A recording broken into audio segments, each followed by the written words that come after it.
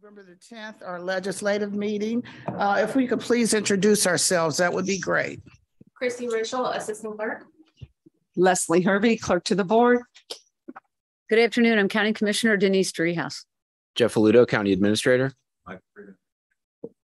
Thank you so much. Stephanie Summerow Dumas, President of the Commission Board.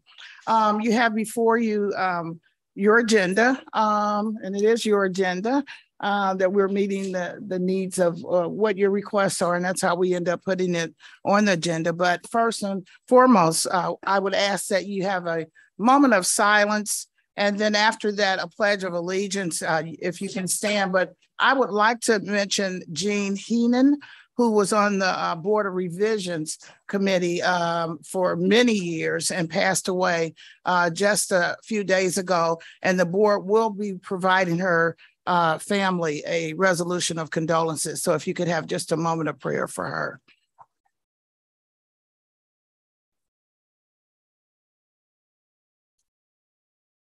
Amen.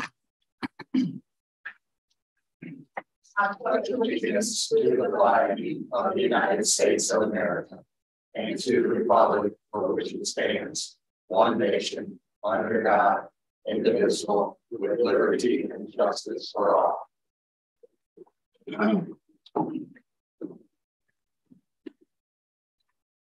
And I would just like to say with Jean, uh, when I became uh, chair of the Board of Revision, um, and even before that, she would come up to my office and send me all the hearings that had happened and all the appeals that had occurred and explain to me their process of the Board of Revision. So uh, she will be sorely missed, I'm sure, by by many people. Um, Vice President Reece, would you like to just introduce yourself and?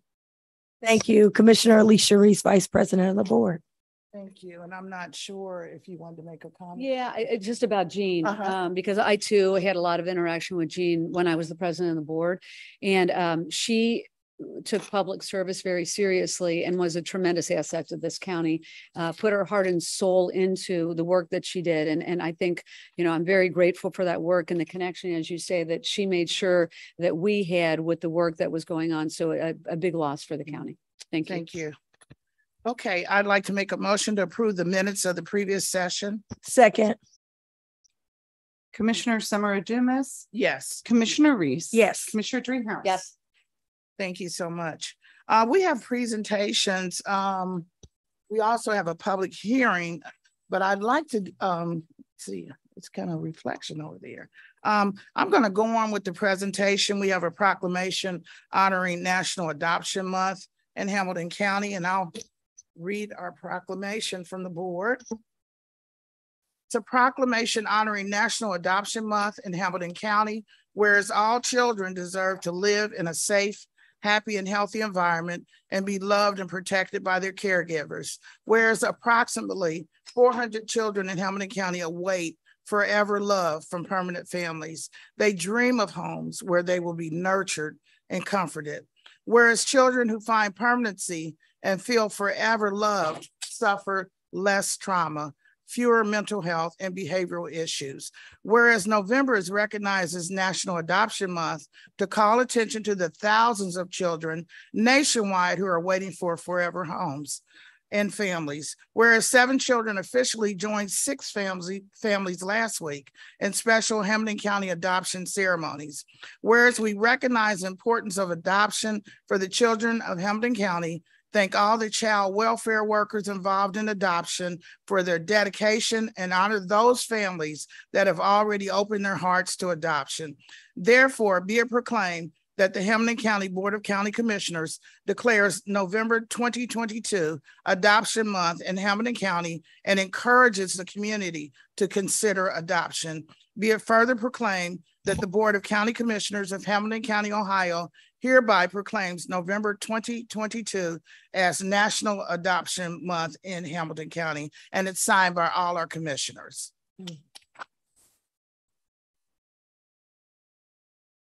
I'm going to open it up for any comments, and I know that our director is here to accept our pro- proclamation. Vice President Reece? Uh, thank you. I just want to uh, uh, join in commending those who have adopted and uh, uh, those who step forward So uh, we have a lot of children that need love. So if anyone's out there considering or thinking there are families who are unable to naturally have children, would like to still love children, um, and we have these opportunities for them. But I do want to thank those who have stepped up, uh, these loving families. Thank you. Thank you. Commissioner Driehaus. Yeah, thank you. Um, I too want to say thank you to the families that um, are willing to adopt in this community. There are many and they're heroes really because we have, we have kids in this community that can't be safely at home. And so um, if they cannot be reunited with their families, we need to have folks in this community say yes to adoption. So um, I'm glad that we're recognizing the month and want to thank those that have risen to the challenge in Hamilton County. Thank you. Thank you so much. And always remember, there's always an in between. In other words, what I'm trying to say, you could get a child for an emergency uh, situation. So you can kind of maybe, or a temporary situation, or uh, just a maybe a three month situation. So just think about if you're not um maybe interested in adoption there's all kinds of ways that you can lend a helping hand uh for children so director patton would you like to come up and just say a few words Thank you, Commissioners, for the proclamation today. Uh, I can't say too much more than what has already been said in the proclamation. Uh, we need families all the time, and so we want to thank the families who step forward uh, annually uh, to to um, help children in care that we care for and uh, create forever families for those children. So uh, just appreciate the acknowledgement today, and also want to thank the staff and the, and the workers who work so hard every every day uh, working to find forever forever families for children that we are uh, uh, responsible for. So thank you very much. great uh, we're going to take a picture with Okay. you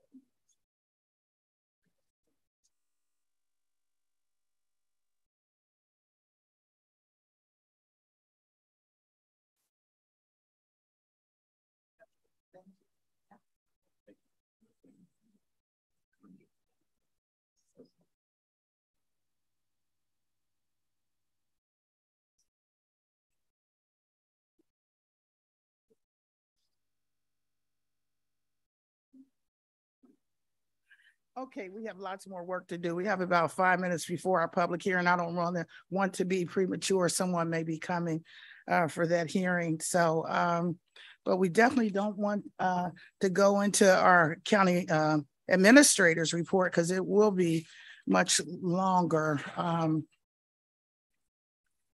so why don't we go to public comments and see if we have any? None on Zoom, okay? And I did not see, receive any cards. So, um, all right, well, why don't I just take this time to say thank you? I can do that. Um, uh, we just had an election yesterday, uh, Tuesday.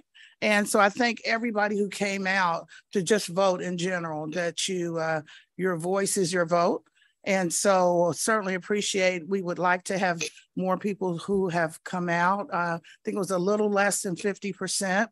And I certainly uh, am appreciative of those who um, had enough confidence in me to vote for me for another four years. So I get to be with these ladies um, and these gentlemen uh, for a little bit longer. So I certainly am um, just honored by the confidence that the public has uh, put in um, with me and the fact that the things that I'm doing, that's um, a lot of people believe in what I'm doing and they showed it uh, through their vote. And I had a little cute thing for my board up here because I just love them, both of them. And I thought about the fact of, oh my God, what if I don't get to see them every, at least every Tuesday and Thursday? Um, so I wrote a little, you know how I write little poems and all, but it's very short. And of course, Stephanie starts with an S, so I just used the S to describe this group. This is the most, I know I've watched boards before, not as closely because I'm involved, but this group of women, commissioners, the things that we've done, I am just so proud to be a member of this board. Um, just dynamic. And so I just was gonna say, you know, we uh, went through the good and the bad and what was going on in the county. We came through the pandemic. Of course, we balanced uh, the budget uh, with help, of course, of staff. And so we're structurally balanced. Everybody knows that we're moving forward. We got a, our ARP money we, uh, and we're doing our CARES Act money and we distributed it the way uh, we really investigated and looked at what was the best way to do that as a team. Um, and so um, there's not, I think we're going to go down to history, in history, as the most dynamic, productive commission board ever. That's what I think. So anyway, I just wrote a little thing with S's. I think we are strategic. Our group is just very strategic. We all have our own interests and we fight for those interests, no matter what they are.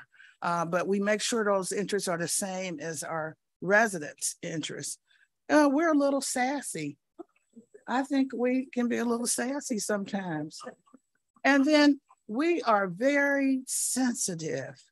In other words, if somebody comes to us with some stuff that we don't think sounds good for this county, uh, we're going to listen, be fair, but we're a little sensitive. Now, have the people been asked about this? You know, did, do they know about this? Did they give their input? So we're very sensitive about what we hear and what we do because this is going to be a legacy.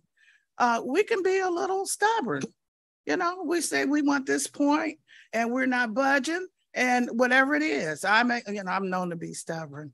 But then uh, also, we can be sophisticated. When we go wherever we're going, we represent this board so well. And that's another reason why I'm so proud of us. And we are stupendous. And we are superheroes. And what makes a superhero? Somebody who gets out there against all odds.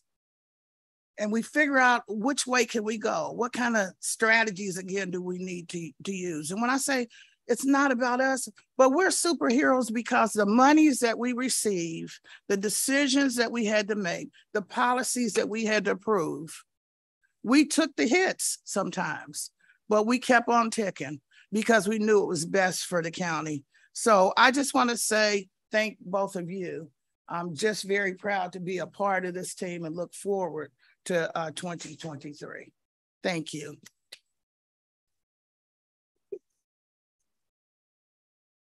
Right at 1:15, so I timed it well. So let me look at what our um, our public hearing. Let's get to that. And I think uh, Jeff, are you gonna lead it or is uh, Mr. Beck going to, it's a notice of a public hearing regarding the rehire of Gina. No, you're not. Gina Richmond as a purchasing agent three in the purchasing department. Jeff? Yeah, gonna... Madam President, I'll call on uh, Frank Spataro, who will uh, walk the board uh, through this, and uh, Jill Williams, our purchasing director, who is here as well. This is a hearing that's required um, by Ohio Revised Code as it relates to the rehire of an employee. So Frank, I'll turn it over to you. Thank you. Good afternoon, commissioners. Um, the, uh, the purpose of this public hearing is to discuss the rehire of Gina Richmond in the purchasing department as a purchasing agent three uh, and provide interested persons an opportunity to express their views concerning the rehire of Ms. Richmond. She retired um, September 30th and we, um, uh, section 145, 381 of the uh, Ohio Revised Code requires a public meeting on this issue uh, between 15 and 30 days before the employment, uh, before the reemployment of Ms. Richmond. So that's the purpose of this hearing here. And uh, the board did pass a resolution back on August 11th um, that provided the 60 day notice um, of the uh, department's intent to um, rehire Ms. Richmond. So this is the last step of public hearing. And if there's any uh, persons here who want to speak to it, this is the opportunity. Thank you so much for that explanation. You said her retirement date was September the 30th? Yes. So uh, at the point that she retired, and I hear about the 60 day notice, uh, she knew at that time that we were going to have her come back, and it was her desire to rehire, to uh, retire first. How Yeah, there, it's required that, um, that there be a break in service by the, uh, um, uh, OPERS, the pension board. So she was in, she expressed interest in coming back. The purchasing department, uh, is looking to have her come back in, a- in a short-term engagement. So, um, uh, she'll be eligible to be, uh, to start employment, uh, anytime between fifteen and thirty days of this hearing here. And I read that it was, it was going to be temporary, but I guess my question is, why did she not just stay on? Rather than retire and come back? I can't, I can't answer that question. Perhaps Jill, Jill. Um, I know it was a personal decision on her part, and then, um, it's part of the plan of the purchasing department, the succession plan. We would need people, her to come back to train employees and future employees. Okay. All right, thank you, uh, Vice President Reece. No questions. Okay, yes. if I could just very briefly, um, and this relates a bit back to, uh, prior, uh, board, uh, policy guidance, just in terms of wanting to be, uh, we, we look at the rehire of retired employees only in very specific situations. Number one, where it's necessary to fill, uh, capacity in critical positions like, uh, services workers, nine-one-one workers, that type of thing. Or um, if it is necessary on a temporary basis to help train and facilitate a departmental succession plan. So um, it- when these items come before you, it's either going to be because we have a position that is absolutely critical to the health, welfare, and safety of the organization or, or the public, I'm sorry, uh, or where we are looking at a short-term engagement uh, for succession planning purposes. And the, this, the latter is what this falls into at this point. Thank you so much. Okay, I'd like to make a, uh, well, I'll close the, the public hearing. I'd like to make a motion to close the public hearing. Second, Commissioner Summerow Dumas. Yes. Commissioner Reece. yes. Commissioner Driehaus. Yes. Thank you. Thank you so much. Thank you. Uh-huh. Okay, let's move forward. Um, comments and motions, I'll get it started. Um, I just wanted to mention, as I was sitting here a minute ago, I just wanted to mention that I forgot. I talked about, uh, my commission colleagues and not wanting to be without them, but I think about the staff that are here. And I've said it before, and I know there are other staff members from other places that I've gone, but I have never met a more professional, equipped, experienced staff as I've seen here. And uh, just um, that is so important when you're running an organization such as this. So I wanted to say that I'm just really happy to be back with our staff. So I'm going to move through. I don't have a whole lot. Um, I went to a OKI meeting this morning. I just wanted to correct for whoever's watching, uh, Eric was in there and the question was, we were talking about electrical vehicles. And then the president or one of the ones that was leading the meeting said, who all has a, uh, electrical vehicle? Denise was there and I said, and so the reason why, and then I, he said, oh, it's four people have electrical vehicle. And I think, the reason why I raised my hand was because I see myself as Hamilton County. And so they, who has electrical vehicle? I know Hamilton County has electrical vehicles, but they were t- talking about personal. So I have to kind of separate my personal from, from the county, but I thought it was a good thing. So whoever, I had to let Mark Policinski uh, know that I don't, and then Denise said, you, she caught me after me, you don't have an electrical vehicle. So anyway, I wanted to kind of clear I that. only said it after you brought it to my attention. Okay, so we'll move forward. Um. Okay, also, uh, we are honoring veterans, um, and Ohio counties play an important role in helping our counties, uh, veterans transition back to civilian life, both through the Veterans Service Commission and through a myriad of programs across the county. So we're gonna have green, Operation Greenlight. Uh, and I talked about this the last, I think I talked about it on Tuesday, November the seventh, uh, to November the thirteenth. And our county buildings will be shining green to, uh, uh, honor our veterans that have been in service and that are still in service. So we wanted to make sure, uh, that you knew that we're shining the light on our veterans. And also, let me get my little list so I don't Uh, there was a meeting yesterday, uh, regional safety complex update. Uh, we're not calling the Lincoln Heights range anymore, uh, the gun range anymore, because it is not their gun range. It just happens to be over in that area. So the group, uh, the regional safety complex update, there were many people there. Commissioner Driehaus was here, was there. Uh, my chief of staff, Bishop Hilton was there. The mayor of Woodlawn. It was actually held in Woodlawn the mayor of Lincoln Heights, the mayor of uh, Evendale, um, Jan-Michele Lemon, vice mayor of Cincinnati, and another city rep. And so conversations are continued to go on. We are not forgetting about that Lincoln Heights, Evendale area. We will not uh, forget it. And what we're trying to do is get that area closed. Um, and so there were some estimates that were given out about the range. It went all the way up to 42 million. And so our county people have looked at it and are thinking that we can reduce that cost to 27 million down and maybe even less. I'm not sure. But right now we are thinking that it can be reduced down to 27 million. And so there was a um, an agreement um, because the city is, is not um, we're working very hard on it. They're working hard on it, but the city is kind of dragging their feet a little. So within 30 days, the city's going to come back and tell us where they are on the commitment as it relates to the amount of money and also some of the bells and whistles that people want at that uh, at that range and the fact that you can do things in phases. You don't have to do it all at once. Um, so I just wanted to uh, and we, as a county had we were putting in, um, but we are also looking at now uh, 10 million more to make this process happen. So I'm sure you may have some comments about that. Um, see what else I have. I also wanted to announce um, we uh, the county is having a walk-up COVID-19 booster doses Wednesday, November the 16th, 10 a.m. to 2 p.m. right here in the front of this building. Hamilton County Public Health and Hamilton County Commissioners teamed up to bring a walk-up COVID-19 vaccine clinic in this lobby downstairs, Todd B. Portune Center. So bring your vaccine card and it's open to the public.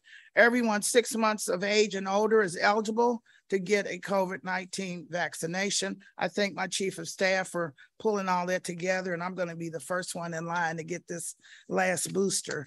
Um, and then I got a uh, email. I don't know if you guys got it, ladies. Uh, em Emily Moser sent it about the animal care uh, our animal care system. Um, and she immediately talked about how she feels that our animal, Cincinnati animal care, uh, in her opinion, is much better than the SPCA.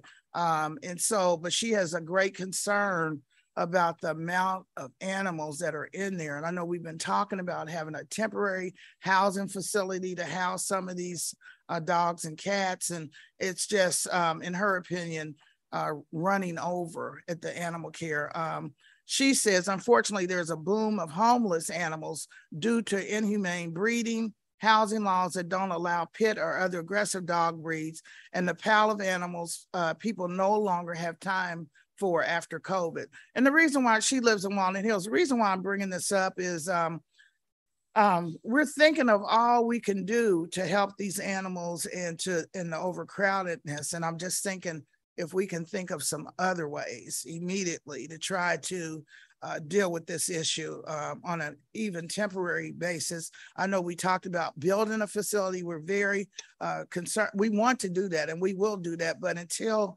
we're able to build, what else can we do? Um, some people can take uh, animals for foster care. We've talked about foster care earlier, but they also have it for uh, animals. So if you're interested in that, but that will not help the overcrowdedness over there. So we just have to kind of think outside of the box. And lastly, um, Director Patton sent out a memo I wanted to share. Um, trying to get the word out on something that can really help a lot of parents, the CTC or child tax credit deadline is November the 15th. Um, the CTC for tax year 2021 is up to 3,600 per child for tax year 2021, 22. Is that what it was? Okay, okay. Um, and you can, and it says under six and 3,000 per child ages six to 17 You can get this money even if you have never filed taxes before. The United uh, United Way will help you file now. It's not a difficult thing to do, and they will help you to do it. It's it's really important when you need assistance for sure.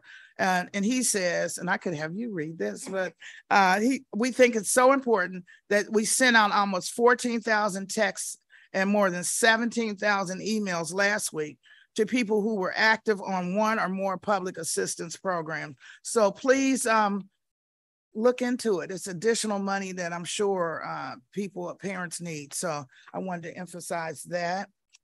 And I believe that's all that I have for now. And I will pass it over to Vice President Reece. Thank you. Um, first, let me start off by saying congratulations to you. Um, definitely want to say congratulations to you and uh, glad to have you with us back together. Um, I also want to, what'd you say? She's getting me in trouble, getting me in trouble up here. I also want to um, com- uh, commend all of the candidates that won um, in this election.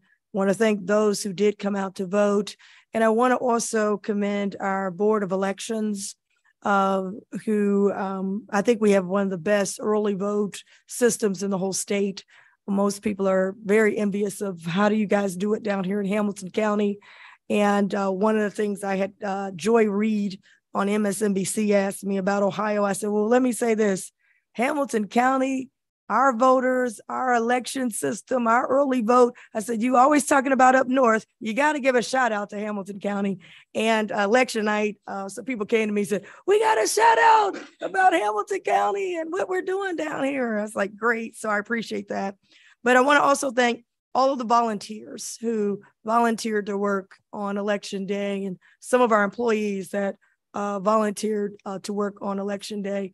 I want to uh, also highlight uh, in my office, I want to Veda, I saw Veda at election day volunteering. So everybody that volunteered and helped make the election go, I want to just uh, thank you all.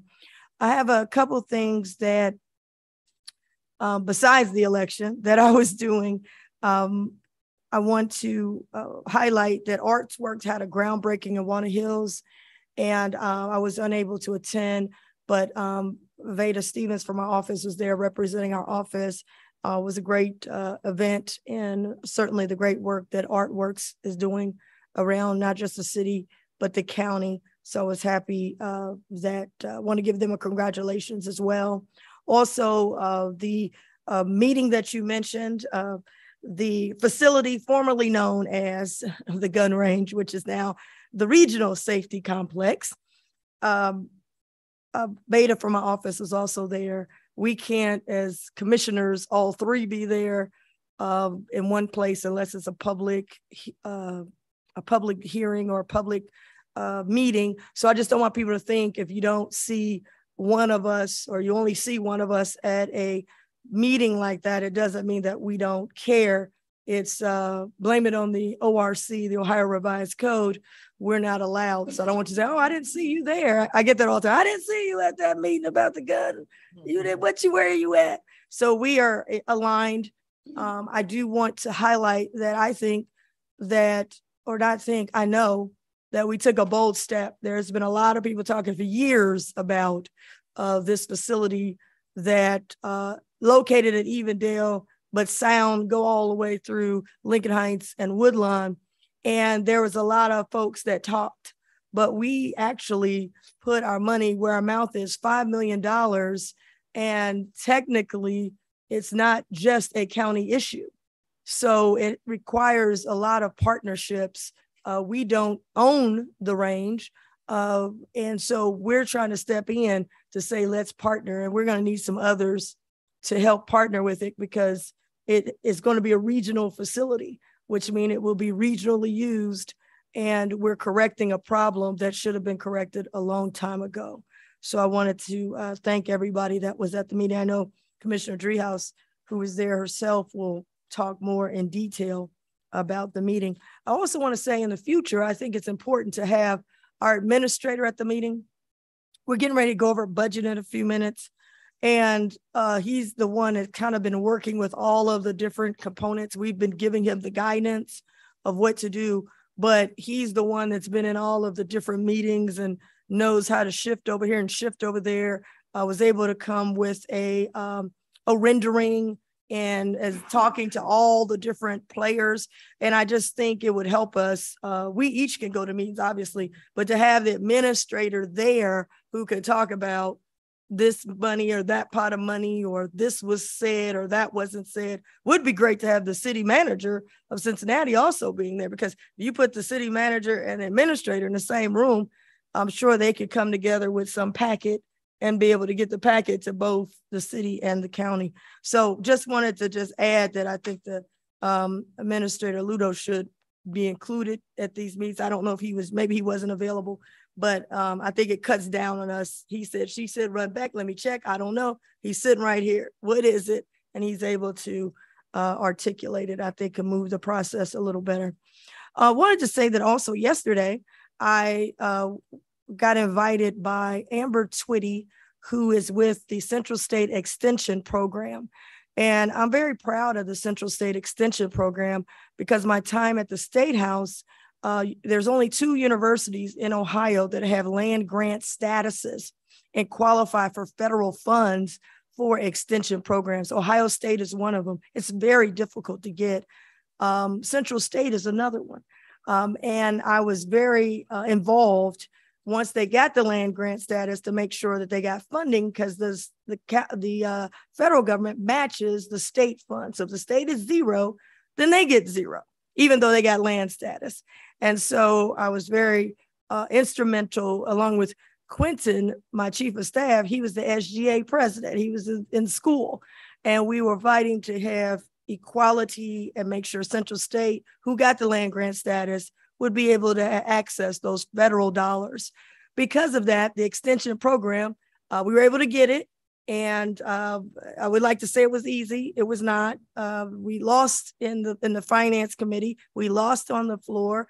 Uh, but Representative, former Representative Beakey from the Republican side said that I had brought it to the attention and that I owe he owed me a, a trip to Central State. We went to Central State called in Quentin, the SGA president, along with the president of the university. We had this incredible six hour meeting. I said, my gosh. And he went back and we were able to get the funding from the uh, governor at that time, Kasich, to put $5 million into Central State. They got another 5 million. Their extension program is moving and it's here also now in Cincinnati.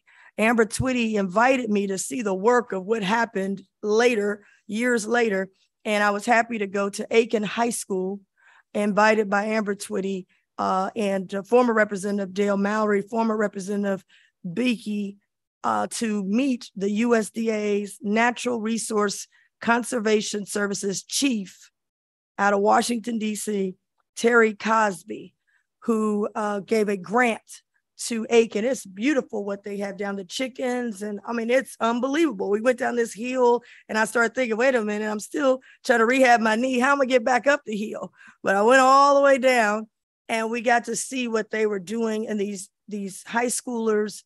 And it was incredible. So it was great to also meet again the USDA Natural Resource Con- Conservation Services chief for the United States of America, Terry Cosby and uh, he says they have a lot of funding for this type of extension program. And of course, I said, I need more in uh, Hamilton County. We'd love to give you a whole lot of tours and let me get you with our administration because we need the money if the money is there. So um, that was really good. I think it'd be a great contact for us. I'd asked uh, uh, Administrator Aluotto uh, about a month ago or a month and a half ago that I wanted us to get more connected with the USDA they got a lot of other areas. This is just one area. They got a lot of other areas that could bring money back. And according to uh, Chief uh, Terry Cosby, they're looking, they're looking for partnerships and they have funding. So um, hopefully we can reach out with our lobbyists and other folks to uh, connect with them. Today, I also presented a proclamation on behalf of the board for um, at the uh, meeting, uh, Southwest Ohio Regional Workforce Investment Board. They got a new name, but I don't have it right now. I can't remember it, but they got a new name. We'll be back with the new name, but the same mission. And we met over on the west side. It just brought so many memories back. My first La Rosas, the original La Rosas, um, my first roller skating rink, Rollerama, that's not there anymore. But we were we met at the IBEW NECA Electrical Training Center that used to be the Circuit City. I brought my first TV there. It was just a lot of memories there. But we had our meeting there, and I presented a proclamation on behalf of this board, signed by all the commissioners, recognizing uh, apprenticeship, a Greater Cincinnati Apprenticeship Week.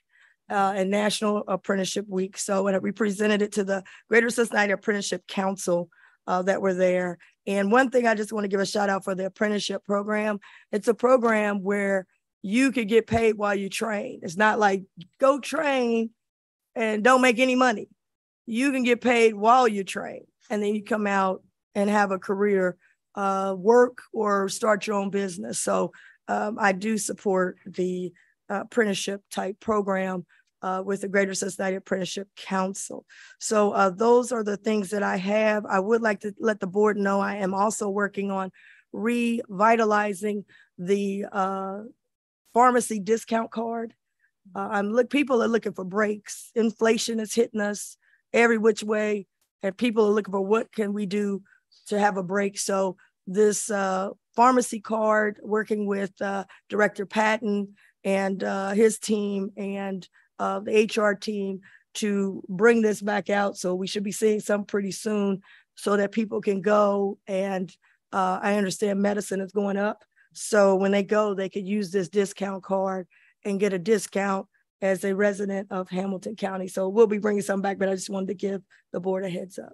Thank you. Thank you. Commissioner Driehaus. Thank you. Um, I too wanted to congratulate you on your victory on Tuesday on election day. Thank you. Congratulations. Um, you never left, so I can't say welcome back. But anyway, glad to have you, glad to have you here. Um, and and also um, thank those who ran, whether they were successful or not. I mean, we need people to run for office on either side of the aisle to have a robust conversation about what government does and who should represent us here in our uh, local jurisdictions, whether it's the Congress, the the county commission, the recorders. I mean, eh, you know, all these countywide offices, the judicial races. Um, we had victory on all three levies that we supported as a commission. I was delighted to see that, and they all had um, pretty nice margins uh, when it came to their victories. So I'm glad that that money will remain in two cases and increase slightly in for uh, mental health services here. Um, and thank those um, that went out to vote. We had about 50% turnout. Um, the Board of Elections did a fantastic job. I voted early this year. Uh, it was very easy to vote early, but I was also out and about on election day and everything seemed to be going really well. So congratulations to Sherry Poland and Alex Linzer over at the board and the board for the Board of Elections for a, another well-run election day. Um, really, really grateful for their work. Um, also, I wanted to talk about an event that I went to uh, to honor Suzanne Burke, who is over at the Council on Aging. All three of us signed a resolution or proclamation to name it her day. She was being honored by 55 North, which is a group that has day services for seniors. And so Suzanne does so much work with the Council on Aging, keeping seniors in their homes when they want to stay in their homes and age in place. And so 50 North um, is another piece of that where they provide services for folks during the day, uh, seniors in particular. So I was happy to represent the commission there. And then I was going to mention um, the safety complex meeting that happened yesterday. A, a lot of folks in the room, um, your uh, chiefs were, were both there, as you say, and I know we all three are very interested in this issue.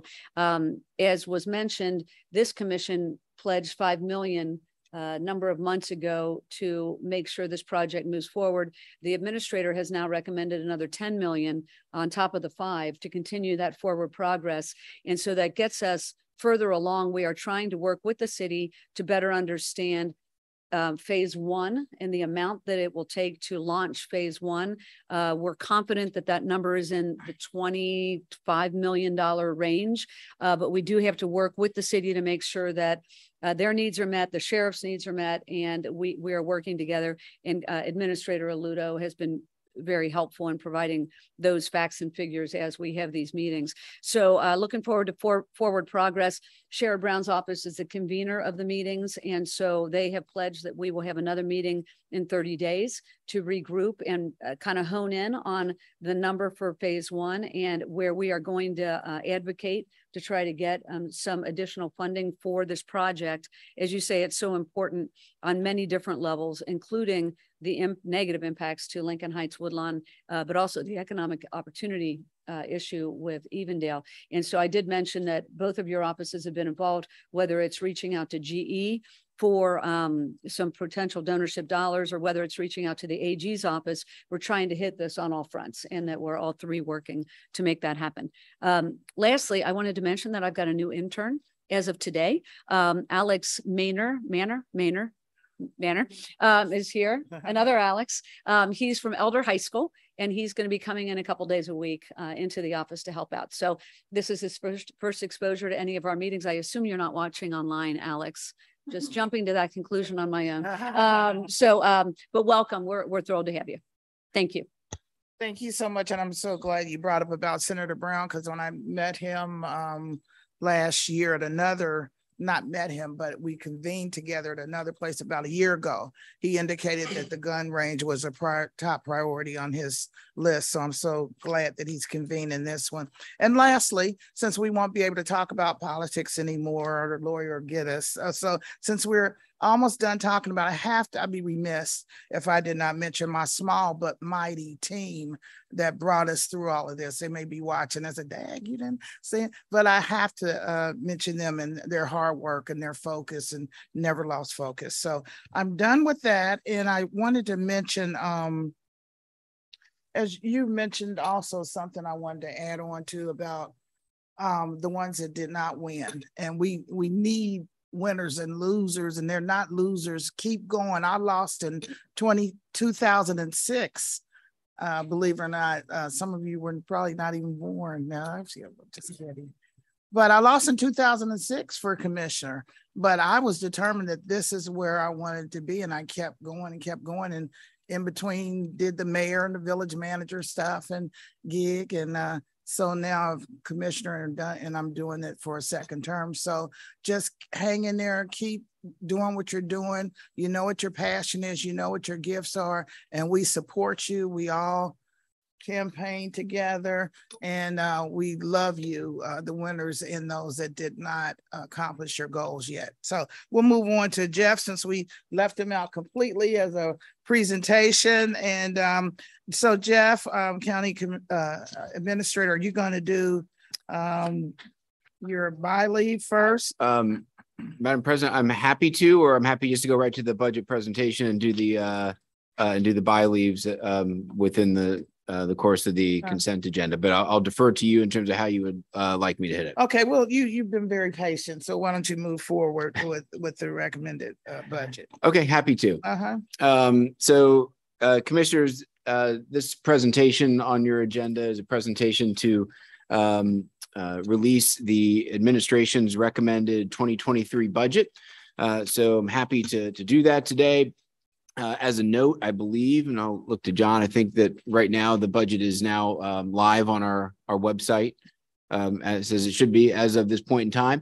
Uh, this is also for the public that is watching. I want to be very clear uh, that what I'm about to present is the administration's recommended budget to the board. This is not the budget passed by the Board of County Commissioners yet. So um, if there's any criticism uh, to to uh, come come out on this is to be directed at the administration at this point, not at the county commission. Uh, the the way the process works is the administration uh, provides a recommended budget to the board, who will then deliberate over it. Take will take time in staff meetings to ask questions, uh, work together on it, and then uh, and I'll walk through the timeline a little bit later.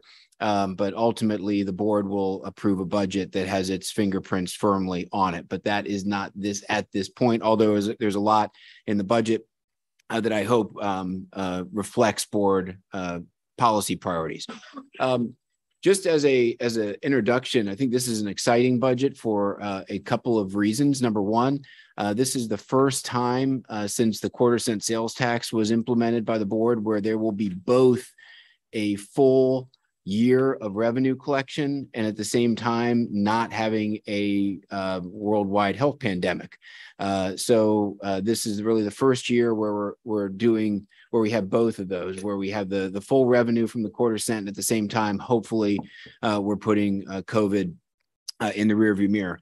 Uh, five years ago, this county was on the brink of fiscal emergency. Uh, we were facing a 30 to 40 million dollar structural budget deficit, which means that the things that the that the county needed to do, the things that the board needed to do, uh, were not sustainable with with current revenues. Uh, so the board at that time instituted the additional quarter cent. Uh, as the union terminal sales tax rolled off, so there was no net increase in, in uh, sales taxes. that decision ultimately stabilized county finances, and place the organization in a position of, of operating as a modern uh, 21st century public sector entity that residents can be proud of um, and that is an organization that uh, as the board has uh, dictated uh, is one that prioritizes innovation and service delivery partners with our local communities uh, on revitalization and resiliency efforts um, addresses the maintenance and stewardship of our assets and perhaps most importantly one that creates an environment uh, conducive to attracting and retaining the best talent in the community to perform the work uh, of the public. And the, I want to just take a little bit of time, and we are noting some of the, the pictures in the budget presentation here. Um, I wanted to take a little bit of time as we get into this budget presentation to talk a little bit about those people. Um, it's obviously the employees of this organization who do the work uh, that is that underlies uh, this budget. And if you're watching at home, uh, the these are the people uh, who protect our our most vulnerable children and employee or, or in residents. Uh, they're the ones who answer 911 calls. Uh, they're the ones who patrol our streets, monitor our elections, uh, steward our community's tax revenues, ensure the safety of new buildings, and, and, so much more. So the first couple of slides here just show you some of those people. Um, there we go.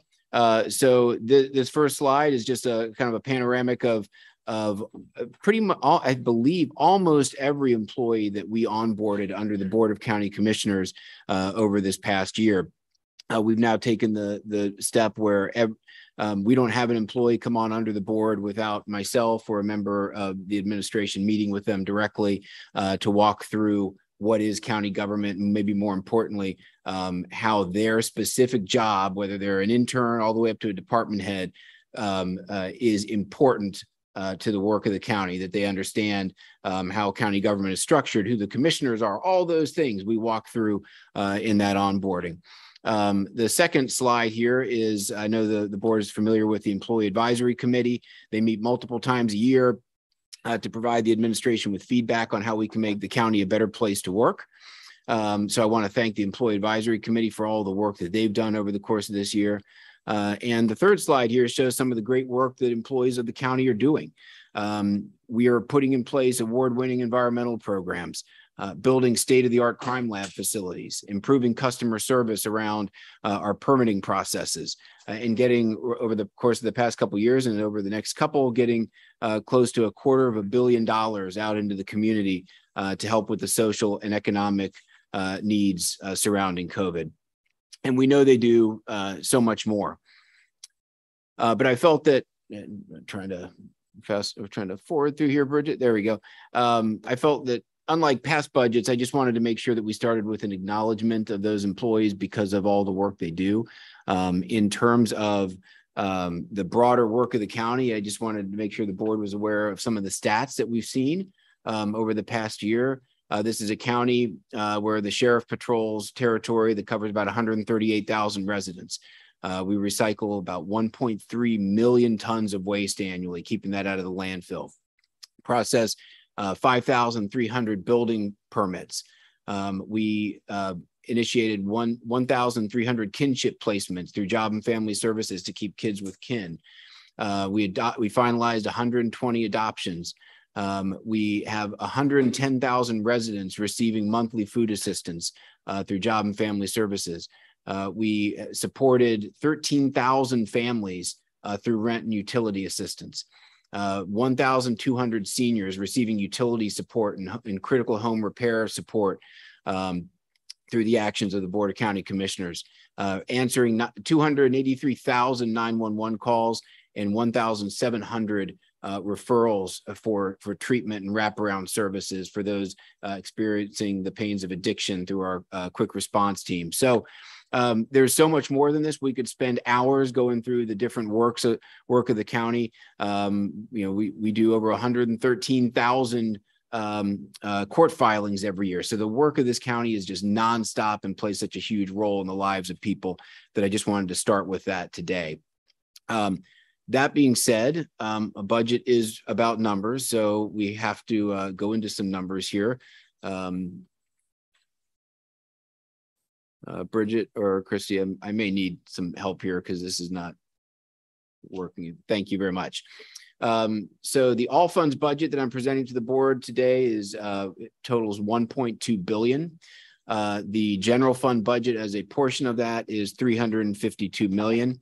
Uh, that is up from 324 million last year, an increase of approximately 8.6%. Uh, the general fund employee base um, uh, facilitated by the general fund budget this year um, is at uh, uh, is an increase of 33.22 positions. That's an increase of about 1.3%. Um, I do want to take a little bit of time to walk through the all funds budget in term, especially the, the board. This is uh, this is very remedial for the board. I apologize, uh, but for those who may be watching at home, uh, the all funds budget consists of the general fund budget, uh, which is the primary operating fund of the county, uh, supports many, much of our general operations, including public safety operations of the sheriff, the coroner, 911 center, uh, gen general government activities like the Board of County Commissioners, administration, um, elections, HR, uh, our development operations like planning and development, economic development, uh, and some of our social services as well, like reentry, veteran services, addiction services, uh, debt service, that type of thing is funded through um, the uh, general fund. Uh, Christy, if you could hit, thank you.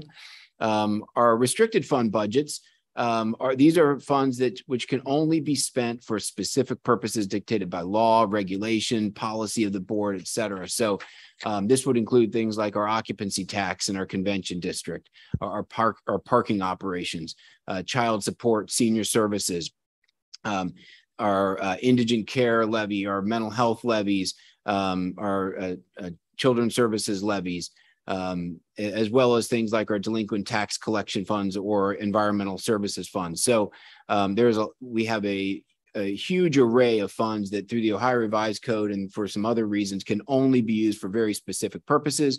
Uh, the all funds budget comprises both the general fund and the restricted funds. And I'm going to talk as we get into the into the discussion about the budget. Um, in I'm going to talk from the perspe- a very broad perspective um, it, there are some funds that are not legislated in the course of the all funds budget, like grant funds, et cetera. Um, but that's really getting pretty wonky when you think about it. The, the, I think what the public wants to hear is what's the work of the county, and this board has talked about breaking down silos and talking about the story of the county uh, without uh, breaking into those silos. So I'm going to talk. My presentation today is going to focus broadly on the work of the county and as little as I can on restricted fund, general fund, grant funds, those types of things, because I just think that's less useful. Chrissy, thank you. Um, here's another way to look at the uh, all funds budget um, in terms of the different funds. You have the general fund, which is the largest single fund uh, in the county. You've got job and family services, stadia and parking, developmental disabilities, um, healthcare, all the way down uh, until you get all the way down to our zoo levy fund at 7.2 million. There's obviously other funds uh, as well, but this just gives you some idea as to how um, our, our funds are, are, are broken down. Chrissy, thank you. Um, our major revenue sources. Uh, sales tax, um, again, for those who may be watching at home, want to know where the money comes from. Uh, sales tax is by far our largest general fund revenue source at 143.7 million. Um, uh, we have three quarters of a cent um, that we that we levy for general fund purposes. It goes to our general fund. There's an additional half a cent sales tax not shown here that goes to our riverfront sales tax fund. So in the county, if you're buying something in the county, we actually have a one and a quarter cent county sales tax, but only 0.75 of that goes uh, to the general fund. For comparison, Uh, Franklin County has one point two five going to the general fund, Cuyahoga one point two five, Lucas one point five, Montgomery one point two five. So Hamilton County is a bit rare um, when you think of our other urban counterparts in that we have a very low amount of levied sales tax that goes directly to our general fund uh, with uh, 0.5 going to the riverfront sales tax fund. Um, our and just a few notes here. Uh, sales tax growth slowed during 2022. Um, we are projecting little growth in 2023 as inflation cools. Um, we're projecting stable property taxes. Um, I'm just going through some of the major revenue sources here. Uh, we're projecting public defender reimbursement at 90%. Um, that's um, we wanted to be at 100%, but just for um, context, several years ago that was at 50%. So we thank our state partners for dramatically increasing the public defender reimbursement. Uh, we're expecting our real estate fees to come down a bit next year as the real estate market cools. Uh, we're also expecting um, continued um, rising interest rates and, and earnings at least through next year, although that could change uh, depending upon what happens with the economy and whether or not interest rates begin to lower in response to a softening economy. Christy? Uh, major expenditure drivers, uh, criminal justice and public safety is in fact 73% of our general fund. Um, we're also a, a people focused entity uh, organization that's 66% of our expenses. Um, we're showing a 7.5% rise in um, the overall salary level, uh, salaries as a line item across the uh, uh, across the general fund. That that's inclusive of things like market rate adjustments. It's inclusive of new employees, et cetera. That's not to be confused with um, a, a, general wage increase. Uh, healthcare costs uh, fall by uh, roughly 2%, um, and some non personnel drivers as well in terms of uh, operating costs at new facilities like the EMA warehouse. Um, the OSU Extension Office, the com new Communications Center, non uh, EMA Center, uh, body and dash cams for the sheriff, growth in and growth in juvenile youth, juvenile court youth services. Christy. So uh, general fund reserve, also a, uh, a major uh, component and indicator of, of fiscal strength uh, and financial strength. Uh, our reserve remains strong.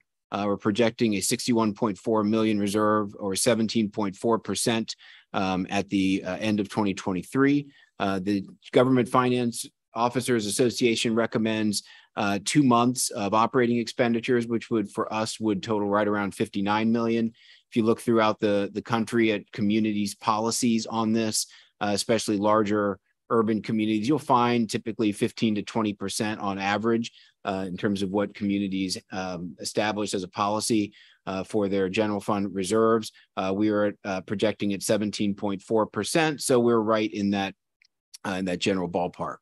Um, again, this is the purpose of the general fund reserve is uh, to provide capacity for cash flow, for capital financing, uh, to insulate the county against major financial shocks. Uh, again, you can look back to 2018. You can see we were um, at roughly half the amount we are now. We were at 13.4%. And there were some years even before that where we were uh, much, much leaner.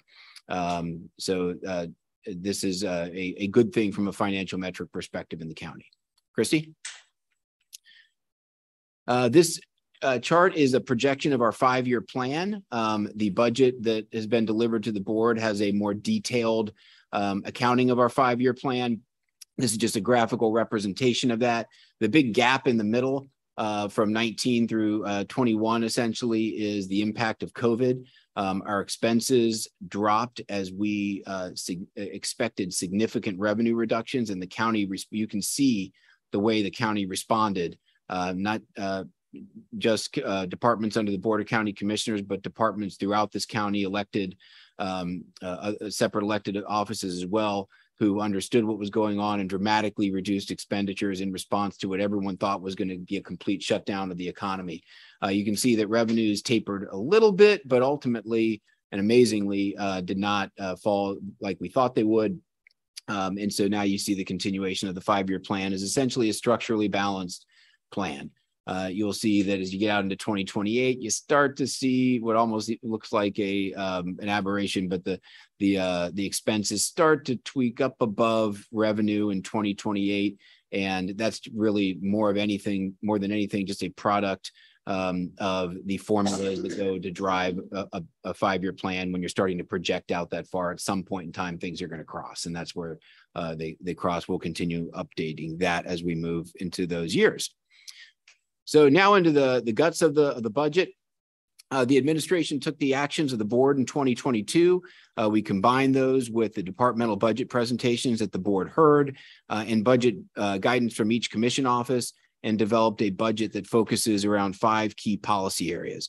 Operating an effective government, investing in our local economy, maintaining a safe community, fostering a thriving community, and protecting our environment and public infrastructure. Uh, I believe the 2023 budget responds um, uh, substantively to all of these um, and is reflective of a modern customer-centered organization. I'm going to walk through very briefly um, uh, some highlights of each of these. This is by no means an all an exhaustive um, recitation of everything in the budget, but I did want the board and the public just to get some highlights here. So Christy. Uh, effective government. I'm going to talk a lot in a moment about economic development, social programming, public safety, but uh, uh, ultimately you can't have those things unless you are uh, performing well internally. Uh, so uh, to start with, this budget is financially solid. it's structurally balanced. It invests in technology to power some of our most critical functions. Uh, we have a jail management system currently out for bid that I had uh, placed in uh, prior budgets going back probably five years. We're now working with the sheriff to get that uh, out on the street. Our purchasing department's budget uh, includes funding for the operation of a new procurement system, uh, which integrates our inclusion efforts. it also supports the initiation of a new web-based permitting system in planning and development. Uh, for perspective, uh, about five years ago, as an organization, our directive to our facilities department, as they looked at doing preventive maintenance on county assets, uh, was you have no money. Uh, if something is broken, come back to us and we'll talk about how and whether we go about fixing it or not. Um, those days are, are behind us. We have uh, 3.5 million. The budget allocates 3.5 million in proactive capital maintenance efforts uh, to our facilities and includes a, an attachment in your budget is ongoing capital projects um, totaling uh, roughly uh, actually over a hundred million dollars, uh, some of which I will uh, talk about uh, here in the uh, in the coming sections of the of the presentation. the budget includes a $300,000 earmark for implementation of many of our inclusion recommendations from the disparity, from the, I'm sorry, from the disparity study. So um, everything from a prompt pay program for vendors uh, to establishment of contract specific goals for participation of minority and women owned enterprises. Uh, it continues the expansion of our employee benefits uh, with an expansion of our tuition reimbursement program and continuing our HR development programs like our high performance organization training through NACO. Um, and as under the board will be interested in hearing includes a 3.5% uh, general wage increase along with a 1% uh, bonus uh, to be allocated by departments based upon uh, performance. Uh, the uh, the operations of our of the county also included in the budget include um, taking as many programs as we can, but starting primarily with job and family services out into a satellite office to be co-located with the EMA warehouse that we are in the process of acquiring. Christy? Uh, the budget uh, invests majorly in the local economy. Uh, I'm just going to walk through these very quickly, but the recommended budget supports, um, uh, it keeps the community revitalization grant program at $3 million, a $1 million uh, community impact program, um, all of the affordable housing um, from our home federal dollars as well as our ARPA dollars. Um, uh, uh, as the board knows, close to $30 million and 17.5 into, into housing production, 5 million into uh, spe- uh, housing specifically focused on uh, uh, uh, senior, disabled, and reentry populations. investing in broadband infrastructure, we have 10 million in our ARPA funding. Um, put aside for broadband infrastructure improvements, uh, $2 million in site readiness. Uh, we have uh, the, the continuation of the Office of, of Small Business and the continued and the reemphasis on, on branding and con- coordination and consolidation of, of small business activities under that, under that office. Um, our parking and convention district operations were uh, the two restricted funds that were probably hit the hardest over the course of COVID.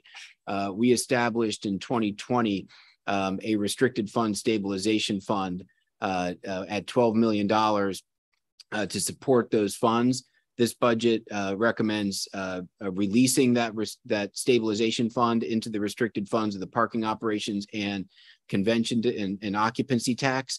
Um, there is no recommendation yet on the amount of that 12 uh, to go to each. We're going to wait and see how the, the year closes and come back to the board with a recommendation based upon the model uh, of each and the health of each fund at the end of the year. Uh, the uh, the budget supports the activities of our economic development partners, including Alloy Port and uh, the Port and REDI. Uh, it includes the operations of our planning and development office, which is the really the front door to economic development in the community, and it includes uh, the completion of phase three of the banks, including the Cincinnati Black Music Walk of Fame, and also, if you look on top of that picture, that is a picture of the Findlay Market parking garage coming out of the ground uh, in the Findlay Market community. And that is also included um, in our capital budget uh, under our parking operations. Christy? Uh, the budget uh, support, supports public safety. As the board is aware, and the board has said mul multiple times, uh, public safety is one of the uh, key activities of local government. Um, so the and the the budget invests in public safety in numerous ways. First of all, the upkeep of our Justice Center uh, and Youth Center.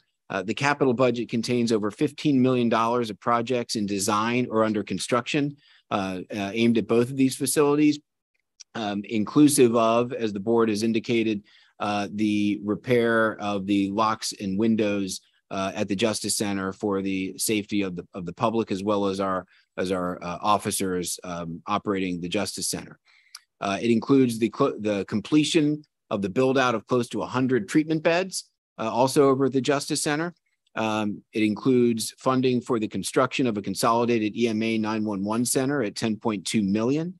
It includes funding for the staffing of our Welcome Home Reentry Court, which we heard from Judge Cross and Trina Jackson uh, a few meetings ago, uh, and include and includes uh, a budget for the staffing associated uh, with uh, with that particular court. Um, it includes, uh, while I don't have it on this slide, I want to make sure because it was just mentioned a little bit earlier. Um, it includes funding for the continued operation of our animal shelter and dog warden functions. Um, it includes a $13.5 million budget in the 911 center, uh, which includes the retention of the $5 detail rate for our 911 operations. Um, that is the charge to every community for on a per call basis uh, for use of the 911 center. Um, that the fact that that is now at five dollars instead of what it had been up closer to 20 is saving communities uh, in this in, in this county roughly three million dollars annually that can go right back into their public safety budgets to hire police officers firefighters and, and uh, capital equipment. Um, the budget funds the upgrades and upgrades the operations of the sheriff's body cam and new dashboard camera program. Uh, there was some news uh, the other day about a home invasion out in green township uh, the sheriff uh, called me immediately after that saying, um, as we get the dashboard cameras uh, on board uh, in next that, that are funded in next year's budget, this is the exact exact type of incident that this would have helped um, track those individuals um, very quickly. Um, it funds the operation of the sheriff's office in a way that uh, facilitates the sheriff's efforts to be uh, a more technology and intelligence focused operation.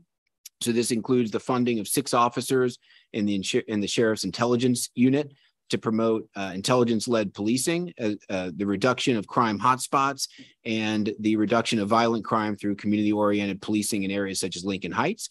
And it also funds the transition of the sheriff's aviation unit uh, away from traditional helicopter uh, enforcement uh, more towards one that is more driven uh, uh, by a nimble approach focused on officer and resident safety through the uh, employment of drones in the in the community versus traditional um, deployment of helicopters. Go ahead, Christy.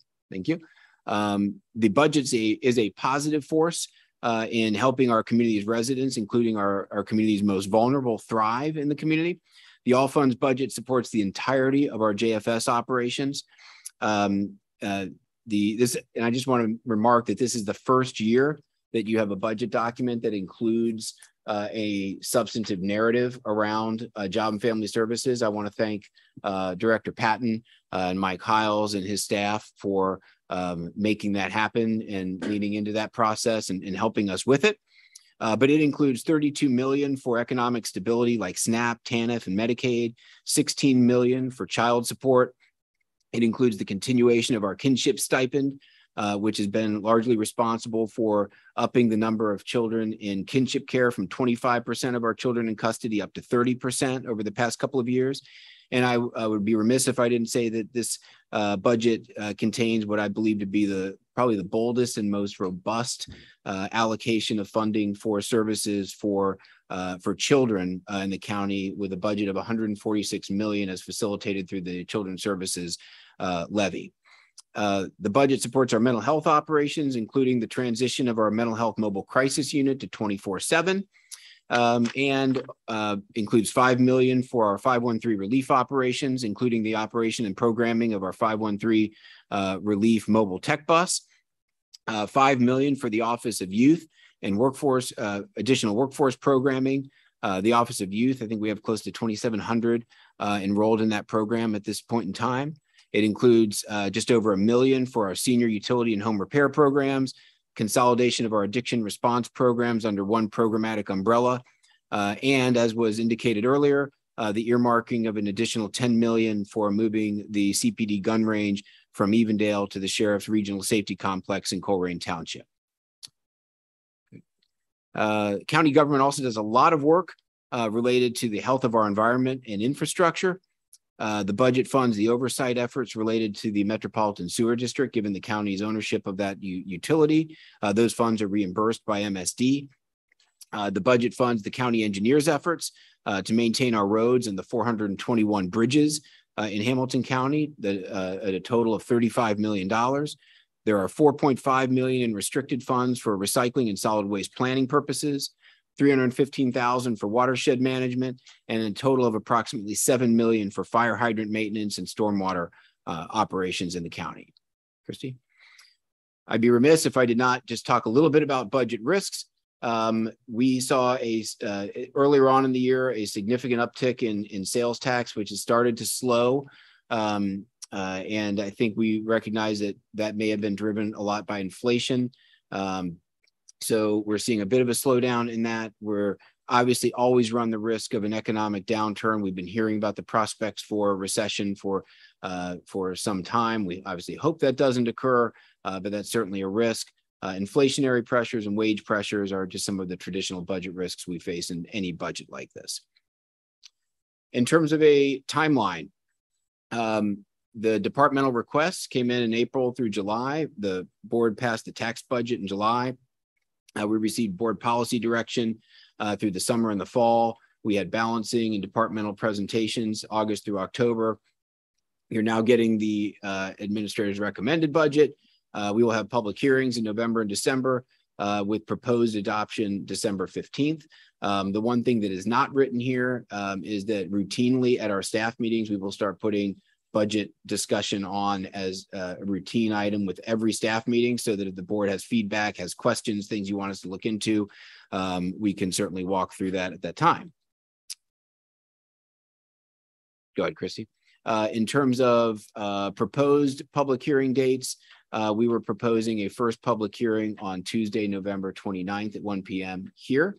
Uh, we are proposing a second public hearing on Thursday, December 1st, also here at 1, uh, and a third public hearing in the evening uh, at Tuesday, December 6th at 6 p.m. at a location to be determined uh, with tentative board approval at December 15th. We typically put out a schedule like this uh, for the board's consideration. If the board wishes to change this, modify it, add, subtract, um, it is uh, certainly free to do so. Um, just in terms of, as I conclude and turn it back to you, Madam President, uh, I just want to thank a few folks. I want to uh, thank John Bruggen uh, our Assistant Administrator for Budget and Finance, um, and his staff, Lisa Anderson, Camden Bentley, Cheryl Floyd, and Rob Wagner for all of their help. Um, this was a monumental task in pulling the, this budget together. I want to thank John for it. Uh, John also volunteered at the elections yesterday. So in, in the midst of, of pulling the budget together in its finality, also found a way to serve the public and uh, through another vein.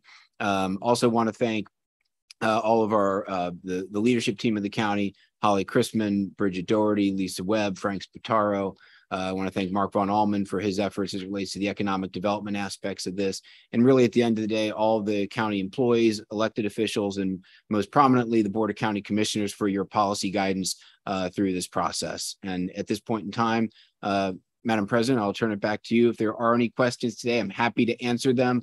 Uh, we've typically used this particular session as just the, the time to get the budget out. Mhm. Uh, the, the board has only had it for a very brief amount of time, and we would then set staff meetings for more uh, deliberative discussion over questions, et cetera.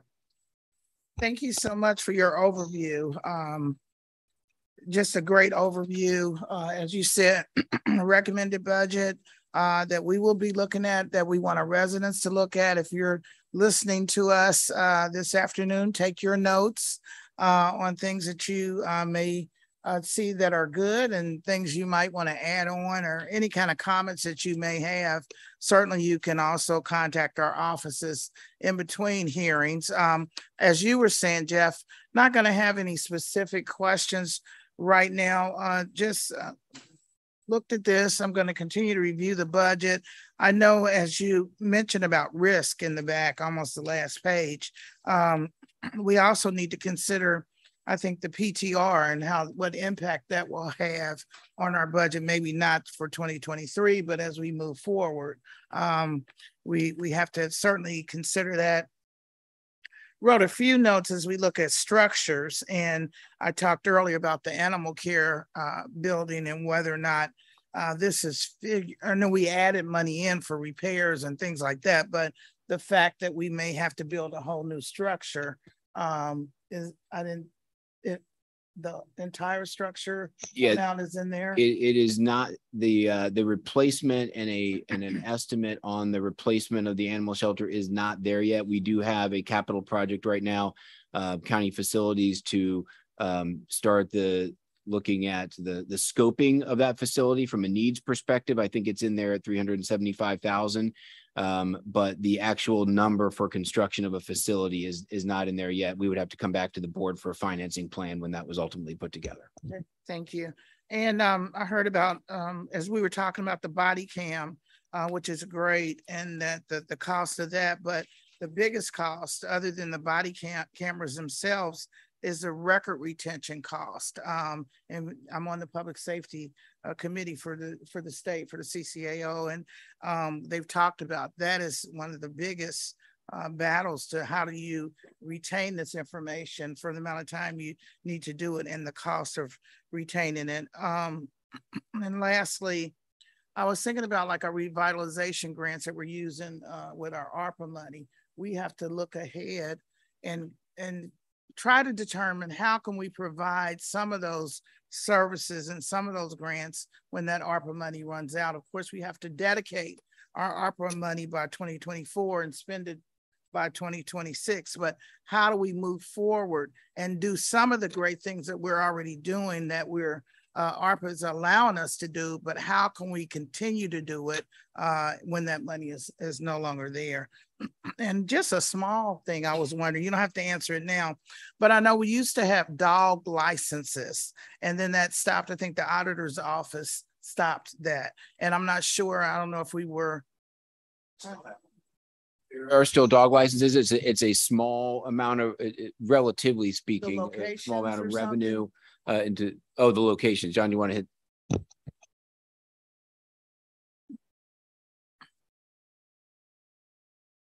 We'd have to get back to you with details. Typically, they do um still sell at multiple locations during the licensing season, but not year round. Okay, I think it was in, one was in Forest Park or something. Anyway, you Mhm. don't have to answer. I didn't want to ask any specific, but I was, and the reason why I'll just, the reason why I brought up dog li- licenses is because I'm trying to think is there anything we got away from doing that we could maybe incorporate or start doing to increase revenue in somewhere? And it depends on who's in the position. Like we're gonna have a change in the auditor's position and, the- and the clerk will remain. But I'm thinking like, is there something that maybe the auditor took away uh, that we can bring back to generate revenue? So thank you so much. Um, um, oh, the new facility, as we look at the satellite office, um, and so we have put some money in there, but we may want to consider as a board, um, you know, rather than renting a space, because we're, you know, I'm, we're very adamant that we need to have this space available. Do we want to buy a small space somewhere, um, rather than continuing? We haven't started yet, but to lease area and do we want to do that? Is it cost prohibitive or whatever? But as we look at the satellite office, I'm hoping we'll bring that to fruition because I know we're continuing to look, but if we can hopefully put a timetable on it and the board decide also whether or not we want to buy a facility. But just general comments, but this is great. The staff has really done a great job bringing it together. Uh, Jeff and you have also, uh, but we'll continue to to look at the big book. And uh, thank you so much for the summary. Uh, Vice President Reece. Uh, thank you for the presentation. Uh, I do look forward to getting, uh, well, I've already started getting deeper into this budget. Um, and then I think, uh, Madam President, you had brought up, and this is your issue. I don't want to uh, take your issue on here, but it did say in our book, I guess, that the license fees, people getting licenses for dogs are going down from what I see it in here, saw in here rather. And therefore, we, we're using, uh, we're dipping now more into the general fund. Generally speaking, that's been the case for several years and it's continued to be the case in the last few. Thank Okay, you. I so- didn't see that. Thank you for pointing that out. Thank you. So, yeah. Yeah, that was good. So maybe um certainly what um President Dumas is talking about, how to increase uh the, get more light, people, more people to get licenses. And we, I think we're using it, what, three point five million? It's is been the- three and a half million for the last three years. Yes.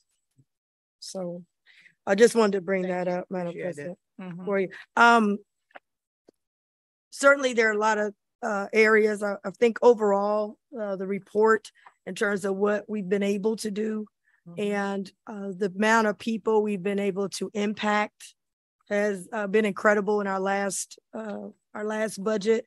And now as we're going forward with this budget, just wanted to uh, make sure a couple of things are in there. I know it's mentioned the Office of Youth, and I'm just gonna uh, all of us put out uh, what we'd like to see in the budget, and at some point certainly want to share that publicly with the public of some of the things that we thought was very important to be inclusive. But last year budget, we had said we needed to have an office of youth. There's a lot going on with youth and everyone is everywhere I go, stopping me. What are you doing for the young people? What is the youth? You- What's happening? And the more we can keep them in positive structural activity around good leadership and mentors, the less we'll see hopefully of the increase of violence among uh, our young people, murders among our young people. And so I'm very dedicated to the Office of Youth. Now I'm on Sorwood board and there was a presentation made by JFS, but honestly, I don't want more of the same. I think we were trying to get this office going and I don't know if we put the right amount of money. I'm looking at in this budget, we're going to have a new office or I guess office of um, where was it? Alcohol. We're hiring a new person in this budget. It formalized, the budget recommends the formalization of the, uh, of the Office of Addiction Response. So um, that's really just a consolidation of, of the, uh, the programming currently um, being implemented by the board, whether it's the grant programs, heroin task force, the One Ohio programming, that type of thing, where we had shotgun throughout the county. We're just bringing that all together under one. Love it. What you just said, love it. I support it. But I, I want the same thing for youth, Office of Youth. That's what, what I've been trying to say for Office of Youth. That's what I've been trying to say for the Office of Small Business. And we're not doing that. We're just even every time it's presented, it's always the youth program. So it's not really an office of youth. I want the same, and we're even hiring somebody for that office to coordinate, which I support. I want the same thing for the office of youth. I want the same thing for the Office of Small Business.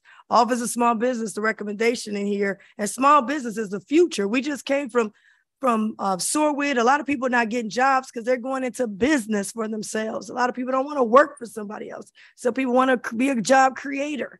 So we have to go with the trend of small business. And out of this COVID, we could be the number one, which I want us to be number one for small business. And so with that, we can't do it with just every alloy. I mean, I know we say, oh, we're going to change. We're gonna, if you didn't change your branding, you didn't change the mindset. I'm not interested in just scratching off alloy and put a name on it. I want the mindset. So I'm trying to figure out in this budget, and I'm not, you don't have to answer today. I want to know what I need to put in because last time I put it in, it didn't, it didn't register. We passed it, it never registered. He say, Oh, I forgot. It's the youth program. Oh no, I forgot. Scratch that out. Office of Youth. No, I'm interested in the same model that we're putting for the drug addiction as I want for the office. I like that we got an office of drug addiction. I want an office of youth. The same model, we got the office of drug addiction. I want the office of small business, not alloy, give them a hundred thousand dollars and you guys rip and run and come back. I want structure. So maybe I did it wrong. Maybe I need to write it more detail from beginning to end. I'm willing to do that. But I don't want to say we got an office of small business and we don't. It's just a sideshow. I don't want to say it's the office of youth and it's just the same thing we already had, but we just scratched it out and put and move the words in front of each other. Uh, this is not to you, Bruga, so you don't have to stand there if you don't want to. You can rest your feet. But um, I want to make sure I get that right because I really believe those are two areas that deserve to have somebody hired, somebody that's connected with the sixth floor. That's sixth floor. People don't know sixth floor is like, I don't know, 31st floor. If you're in, if you're in uh, the state house, it's the 30th floor. But if you're, we want someone connected here that could report back. What are we doing with the youth? How are we doing? Are we doing good? Should we do something different? And someone who can report back with the small business as well. So um, the, that's one thing that I I saw. Madam President like. and Madam Vice President, if I just very quickly respond. Um, uh, the, I think the budget, exactly what you just said, we've attempted to reflect in this budget. And I think you'll see that um, uh, in contrast to, to past documents and past budgets, it's not called the youth program, it's called the Office of Youth, uh, that we're looking to much more effectively streamline, just as you said with the Office of Addiction Response, streamline all those programs under each of those two um, so that they can be implemented and messaged accordingly, just as, you just as you indicated. I would not differ with that at all. Okay, because I was reading it and it was a quick read. We may want to do some editing because it doesn't, it's not the same. I looked at uh, addiction response. You did a very good job laying it out. We're going to hire somebody. It's going to be this, this, this, and this. But on the other one, it was the same language that I saw in last year's budget. And I said, maybe I did something wrong when I did it to sent it to you. So I would like it to be mirrored so who's going to be the person hired that would be able to report to you, the director, as well as the sixth floor? And who are we hiring that won't be just alloy? They have a lot of clients and it's just, oh, you know, we're going to give them a PowerPoint. So I just think in the narrative, I like to see it spelled out a little bit, a little bit more so we understand it. Yeah. And making sure that is that the right amount that will be able to really do something. I don't know if a hundred thousand is the number or not. Uh, that's probably one person's close to their salary, 70, 80,000 plus benefits. On that note, I think what is not written there, um, and we can again provide some more detail is, and as the board has indicated in the past, you know, all of the other programming, we have all the other small business programming, the grants through ARPA, et cetera uh, to funnel up under that office. So uh, as they are small business related, that they are implementing all of those. Um, and it's not the different silos as we've talked about before. Okay, thank so you. that so that hundred thousand may be a little bit misleading uh, in terms of the total dollar value uh, that will be associated and flow through that program. Okay, I would just ask, um, and I'll put it in writing, but I asked if we could re have that reflected in the in the narrative in the budget document so that it's a little more uh, better understanding. On here, you have a continuation of the community land bank operations. And um, I was told that we have to do that. I'm not against the land bank, but we were told that we had to continue the way that we are. I, it's no secret that I have some concerns about how things are set up. I'm really trying to break up monopolies. I, I, I mean, I know that maybe people can't come to this meeting or they can't talk to us, but one of the biggest things is people concerned that this uh, city and the county that we have uh, allowed monopolies to exist and really will be dangerous as we go into the future. If there's only one or two entities that own all the property, one or two entities that control all of the um, all of the uh, uh, programming on it. Uh, if we uh, continue and you begin to see that you have an entity that you give them the money to buy the land, then they control what land goes into a land bank where they don't pay any taxes. And then they control who gets those properties outside of the land bank. Now, it's easy for us to say, well, you guys are all on the land bank. Well, three of us we got a, a, stronger majority here than we do when we go to land bank. Go to land bank, you open it up, it's three plus other people. I'm concerned about a monopoly. How in the world can you be your own checks and your balances? I don't understand how we do that in government. The Port Authority can buy the land and then they come over here, they don't pay taxes on, they decide which properties we pay taxes on. Then they determine if any if you in the community, I don't want you to have the property. I want you to have the property. You don't get the property. Then they get to tear down and then sit on property. If you go through the black community, we got all this property just sitting there. It wouldn't sit there if they had to pay taxes because Jill Schiller would be sending them a note that they got to pay. But you can sit for Swifton, they've been sitting for years. It was Swifton, and now it's some villages, and it's something else. It's been sitting there forever. But if you was paying taxes, it wouldn't be sitting there forever because you would be in tax debt. And we have a lot of those things happening. So I'm just curious because if I got a vote on it, you're saying on here it's recommended. I was told that it had to happen.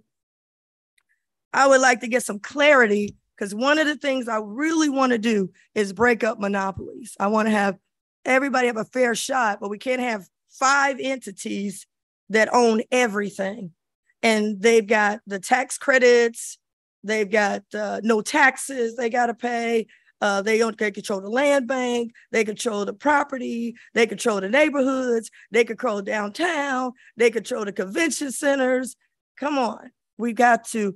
They didn't put us there to have one or two entities control everything. So I'm concerned about this land bank. I think we should have it, but I've been getting complaints from people who want to get property out of land banks, but it's like this unelected hidden figures that decide, no, I don't want you. I want you. I don't want you. I want you. I want you because you're working with me on something else. I don't know how we do that. How do we break up these monopolies? So just a, a quick response. We can certainly have more que- uh, more dialogue about it during the the budget process. But the the operations of the land bank, it's a it, it's a, a bit of a complicated structure, and that the board of county commissioners um, and the treasurer levy the additional five percent uh, DTAC. Uh, that's delinquent tax uh, anticipate delinquent tax uh, anticipation uh, collections. I believe um, that that additional five percent, the board has um, uh, directed that that go to the Hamilton County Land Reutilization Corporation. The Hamilton County Land Reutilization Corporation, which is the land bank, contracts with the port for uh, implementation um, uh, of that programming. So there, in terms of the authority to control the money and the and the authority to control that agreement between the land bank and the port, we can get the board a more structured uh, analysis of that and what you can do from this level as it relates to the operations there. Yeah, that would be great because you put on here continuation of community land bank operations. And then I'll be hearing, well, no, you can't do anything. Well, I ain't voting on nothing I can't do. Just you don't need my vote, you know. But I would like to know what we can do if it can be, you know, it's not I'm for the land bank, but could we put some conditions? You know, you get this, but can't sit on land for 20 years or something, something that we can do. So that would be great if you could tell us Yeah, what and, our and so the question then would are. become whether that is a um, a function of, of the board through its, uh, allocation of dollars to the Land Utilization Corporation or a function of the Land Utilization Corporation contract with the port. It, it, it could be one or the other. We just need to look into that. So we're happy to talk more about it. Or is there a restricted fund? It can stay there until we work out some good details. Right. Couple, there's some options Yeah, we have to look at. yeah, all the options I would love to see. And then, you know, certainly all of us make, it will help me be more educated on it. Um, the other thing that you have on here, you go into the convention district. And you talk about the enterprise parking fund. Um, and you say you, you are anticipating that a portion of twelve million dollars from the enterprise parking fund that is restricted. So um, Yeah, no, um, so let- help me with. Yeah, that. let me clarify there. So it's uh, actually, it's not a portion of the enterprise parking fund, but um, and I kind of referenced this in the presentation. The two funds that were impacted most severely during the COVID um, uh, pandemic were the enterprise parking fund and the transient occupancy tax. So at that point in time, um, through the budgeting process, the board created a restricted fund stabilization fund to help support those operations if they started to go negative. We never um, we, we never allocated funding into them yet. Um, we actually used the restricted fund stabilization at one point in time uh, on a very uh, in a, in a very small level to help with one of the engineers uh, funds. But what I'm recommending, both of those funds have been uh, dwindled down significantly because of COVID, and I'm just re- recommending the release of that 12 million into the occupancy tax fund and into the parking fund. But what I said was we would like to wait until the end of the year before we determine actually how much, um, whether it's six and six or whether there's a different um, uh, proportion that's released into each of those funds. We just want to see the way each fund closes the year, and then we'll come back and recommend to the board which one gets wh- what money and which one gets the rest. Okay, because you reference it in two places in the budget. Yeah, because it does affect two funds, right? And then, but you mentioned it in concert with the um convention district. So are you anticipating this going toward that or? I mentioned it with the convention district simply because the convention district has historically, uh, the county's investments in the convention district have historically been funded from the occupancy tax. Okay, so that's why it's in the two areas. Um, I would like to get more information to understand all of our parking facilities. Um, because I know we, we build them, we, we accrue, um, accrue debt on them. Uh, we always say we could pay it back. I'm not saying we haven't, but ob- obviously, uh, I think we've done a good job refinancing and those kind of things.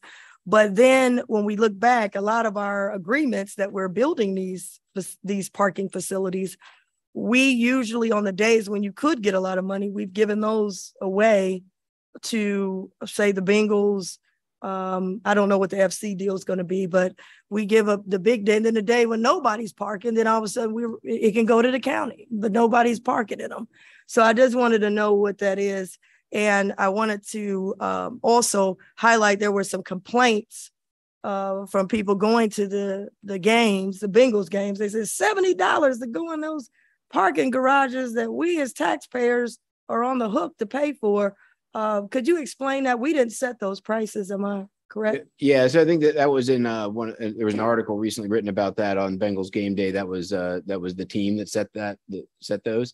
Um, so um, th- but you're, you're correct. There is a um, with each facility, there's a different arrangement with the stakeholders around it. So we can give, we can get the board um, some more detailed analysis or detailed information around each facility, the agreements that re- that relate to it, whether, you know, on the central riverfront, um, you've got agreements with Heritage Bank Arena, with Great American Ballpark and the Reds, Paul Brown City and, and the Bengals.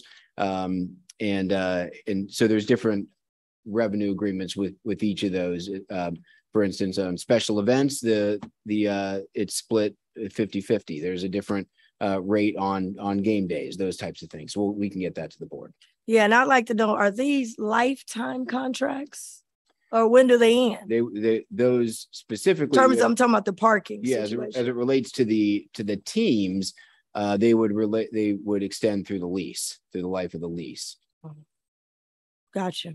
Okay, so I just wanted to, because I know people are complaining about seventy dollars and they feel like I'm paying to build it. And now I got to park, give me seventy dollars to park in it. So I wanted to highlight that. Um, I've got some other things, but I will get to those a little bit uh later in our conversation. I do want to put point out that um in in my in my um document to the administration, one of the things I wanted to look at was a children's services levy. Uh, my understanding there's money that's there that uh, is not being used and uh, not may not be used. I don't know if the number's a hundred million or what have you, but I am looking for if it's not, and I'm not saying go run out and try to find something to use it for. But if it's not, I'm looking at how do we give a rebate or something back to the to the taxpayers. I think that is very important. Taxpayers, uh, everybody needs a break, and any break we can give, I'm looking forward. I'm combing through. Um, obviously, the PTR we had that presentation. Uh, I'm certainly uh, I support that 30%. I think if we keep commitments to the teams, we should take keep the commitments to the people. But there were some other things we asked to get uh, prior to that. I would hope that those will be coming. Looking at the tax holiday in Warren County, uh, some of the other things, uh, the children's levy, uh, a possible rebate to the taxpayers if the hundred million dollars is just sitting there. So those are things that I hope to um, hope to get and um, again be able to go through this a little bit more in depth, uh, which I am. I just wanted to make sure that whatever we put, even the 513 relief bus, uh, there are areas that I think would make the bus successful. Uh, it's not just a bus for rental assistance. And I have highlighted a lot of things that this bus can do. Um, my understanding, I think hopefully the bus will be coming soon. Uh, well, I know we're in. November. It won't make November. We're hoping it comes, uh, I think we talked about after, right after Thanksgiving, so we're still hoping maybe early December, that type of thing. Okay. Well, there are a number of areas that I put down with this, uh, what I call mobile Hamilton County relief uh, bus can do. And I don't know if it needs to be in there because I don't want people to get confused. Last time I just put it in and everybody started getting confused. And I want to make sure that this bus is one with dental care, eye care, farm discount pharmacy, uh, different services. Uh, I talked to a recorder. He would want to have some services. Uh, talking to our, uh, if there's ways that people can get their um, uh, difference as it relates to Social Security, we could get other entities and it has a schedule that when it comes out, it's got a lot of our services that can happen. The clerk of courts, what kind of services they can provide uh, as well. The treasurer, as we're going out, we've got financial services, we've got other services, but we also have the health services. So uh, I have a narrative of things that I think, uh, from what I have heard, and be able to get screenings on the spot, high blood pressure checks, cancer checks, diabetes checks that we can do at no cost. So we take this thing everywhere, everywhere from downtown to to Cleves to help people. So um, I want to make sure that that is.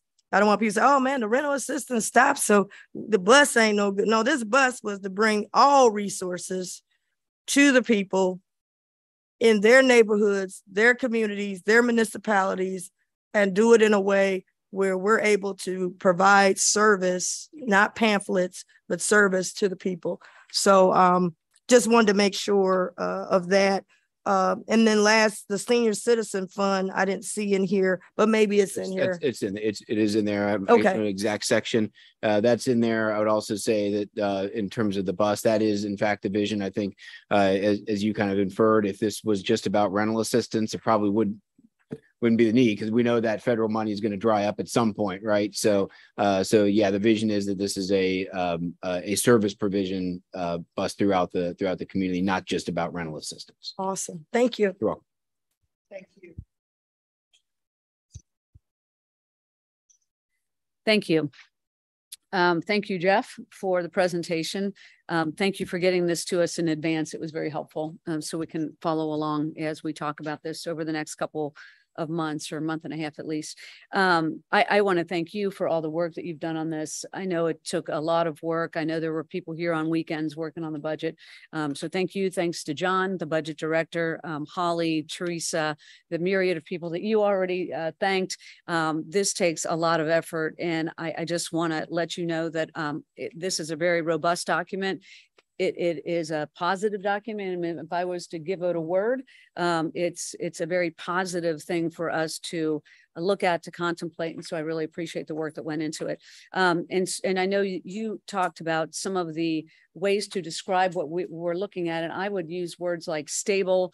Um, this is a budget that's in partnership with our internal partners all of whom we heard from at um, ver various meetings that we had, but also our external partners. You mentioned the 911 fee. You know, we have external partners that are relying on us to be fiscally responsible with this budget, and we have done that in this budget. And so I'm, I'm grateful for that.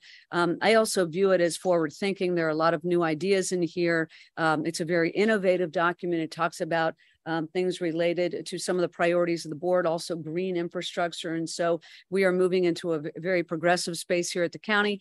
I think it's responsive to the people that we all hear from every day, the constituents, whether we're out and about or we hear about it in our offices. Um, I think this is a budget that responds to the priorities of this community.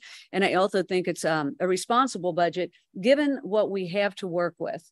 And you did mention, and I, I wish I had my chart, I should have brought it, I brought it, bring it to another meeting about how much we are doing with 0.75 of a, a cent here, where other counties far exceed um, that percentage when it comes to what they've got going into their general fund. And so while we have more than we have had in the past, we are still operating on a very lean amount of money for this county. For the size of Hamilton County, um, you know, we've done a lot with what we've got. So I'm I, I, just do want to note that because I think sometimes that gets lost. Um, for those of us that have been around for a little while, um, I came in when we were just cutting jobs and we had nothing to work with. Um, and this is a very different kind of budget from where we started when, when I was here.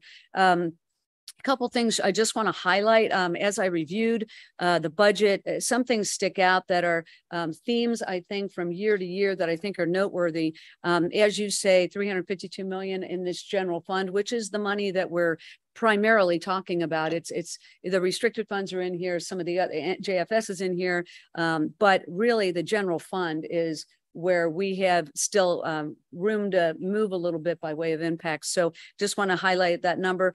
The reserve is at 17%. That is a very healthy reserve. 15 has always been our target. Uh, 17 is even better. And I understand that with some of the economic uncertainty, um, we have to have some, uh, you know, that, that percentage in there. But I do want to recognize that that's a, a very substantial number in our reserve, and I'm, I'm grateful for that. Um, I also want to highlight that there are raises in this budget. Uh, we went through a number of years at this county before I got here where nobody got a raise. For five years, nobody got a raise. Um, in this budget, people are getting 3.5 increases, which I think is reasonable. Again, it's it's a very responsible approach, but also responsive to the work that folks are doing in the county um, for the constituents of this county.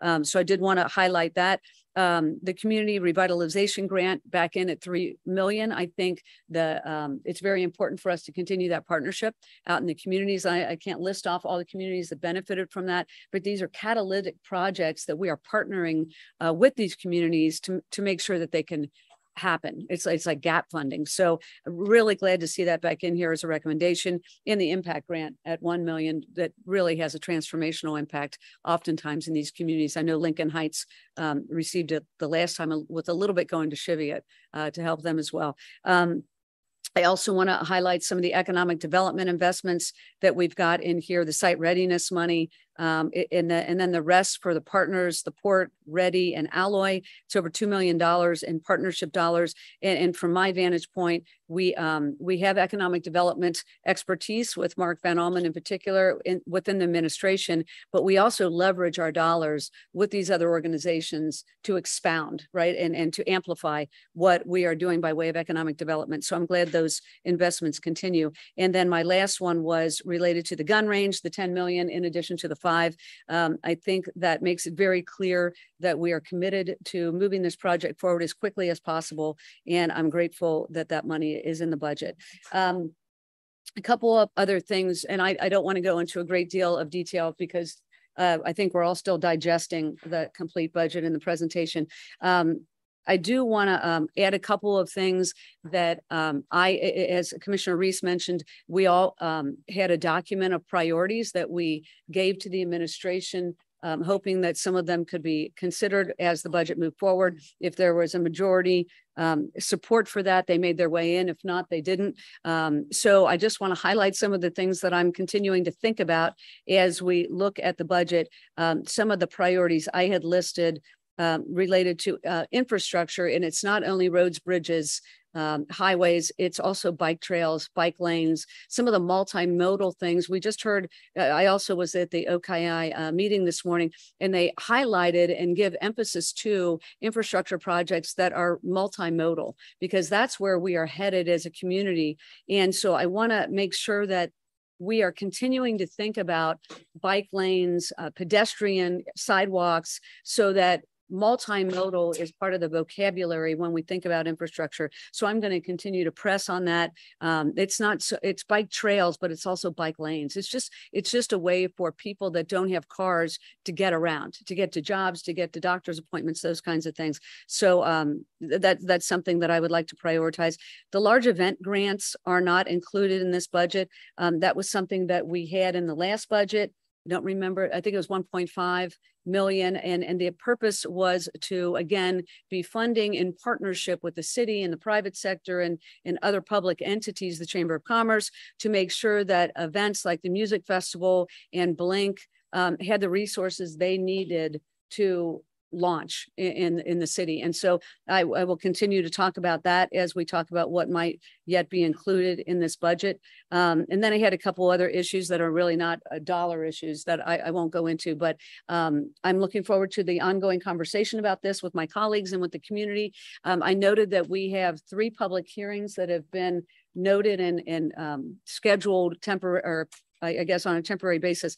I, i'm wondering and I will always wonder if we can't take more into the community. I, I, noted the two of them are here and only one of them is out in the community. I'm hoping that we can do more than one in the community, whether that means, you know, we do three total and only one is in this building and two go out that would be fine. But historically, we have really tried to make an effort to allow people to participate in the budget process. Um, sometimes they take us up on that offer and sometimes they don't.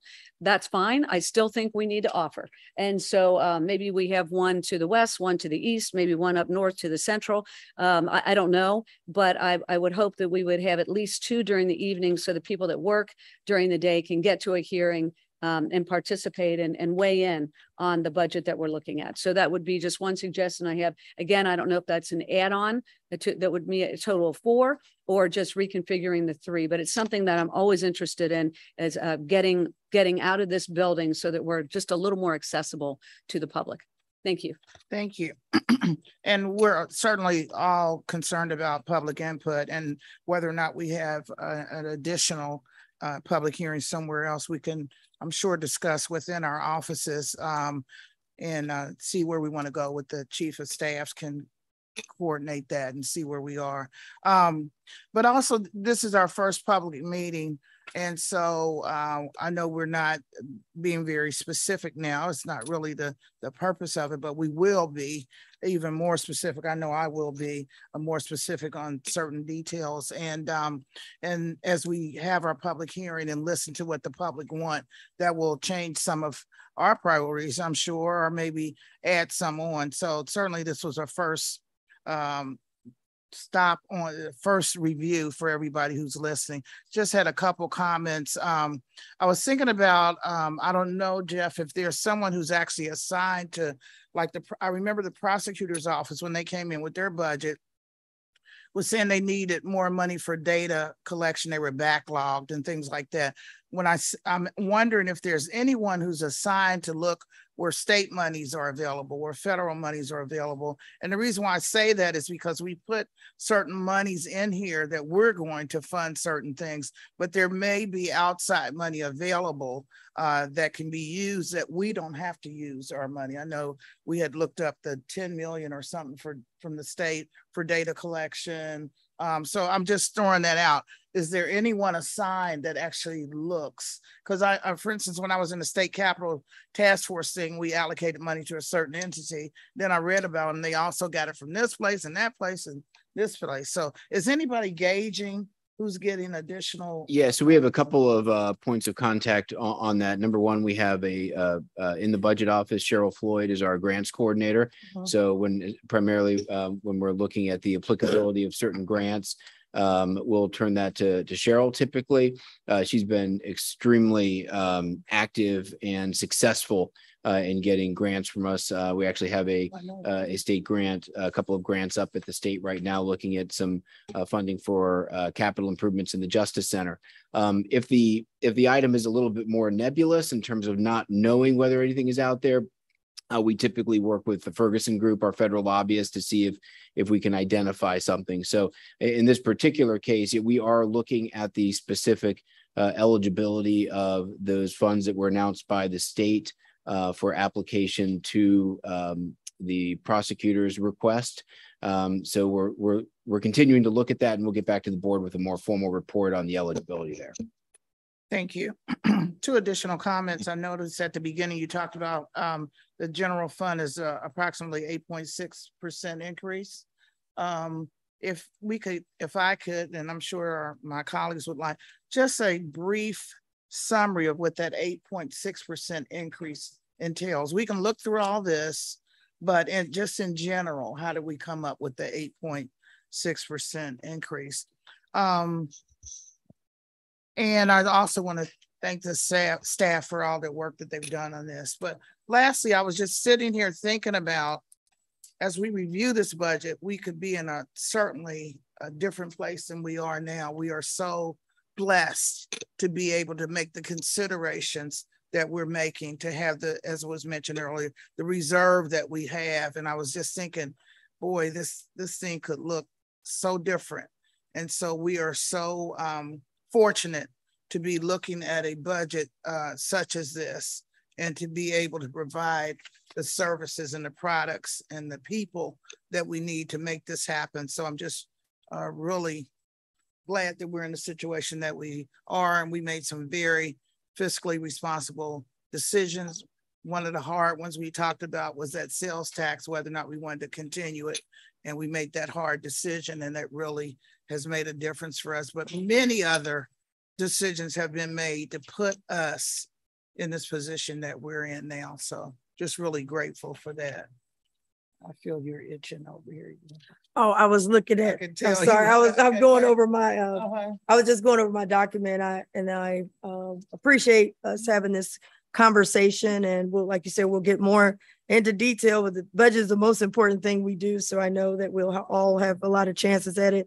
Commissioner Driehaus highlighted some things in her recommendation um, uh, document. And I just wanted to uh, say that some of the things that were, are in our documents did make it into the budget. Um, there's some that obviously will look and do some tweaking. But um, I wanted to just indicate, I know I mentioned the five one three relief bus. I mentioned the senior fund and uh, it was in there, technology and broadband. I know we have funding, but it talks about kind of what we wanted to do. I wanted us to have a more text messaging based um, service because most people now do text messaging versus email. We saw that with the 513 relief bus. Oh, give us an email. And they had to make up an email, but they don't do email. So just making sure we have the technology to do things more text based um, as we're moving forward. I, we talked about the small business office, the office of youth. Uh, we talked about um, uh, property taxes, which is uh, a piece in, in here that I have. But one thing I didn't talk about that uh, maybe didn't make it in this one, I wanted to look at diversification of possibly the $2 million that we do for site readiness to expand it. Um, I wanted us to be able to look at, uh, we've been doing some partnerships. I know with the Realtist, which is African American real real estate folks. Uh, we were just at Housing Opportunities Made Equal, how to increase African American uh, land ownership, and we have um uh, we had an earmark last year. It did make it into the budget that I recommended, but we haven't had a chance to get the.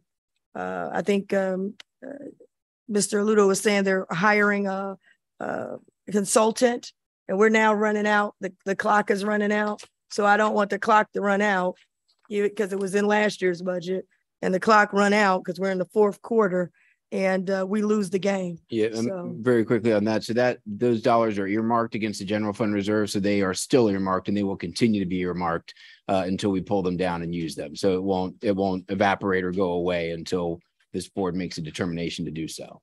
Okay, great. I just, I didn't see it in here. I just want to make sure we all kind of know that and I'm able to tell housing opportunities made equal, uh, which we mentioned, I think Commissioner Driehaus was there as well. But I mentioned it that we had this available, but we were uh, taking some time to get it up started. So wanted to do that. Prompt pay is in there. I'm glad to, to see prompt pay is in there. Um, I still like to see more inclusion on the banks. Uh, I know we have, you know, a half an acre out of 198 acres, and it seems a couple people going crazy over a half an acre.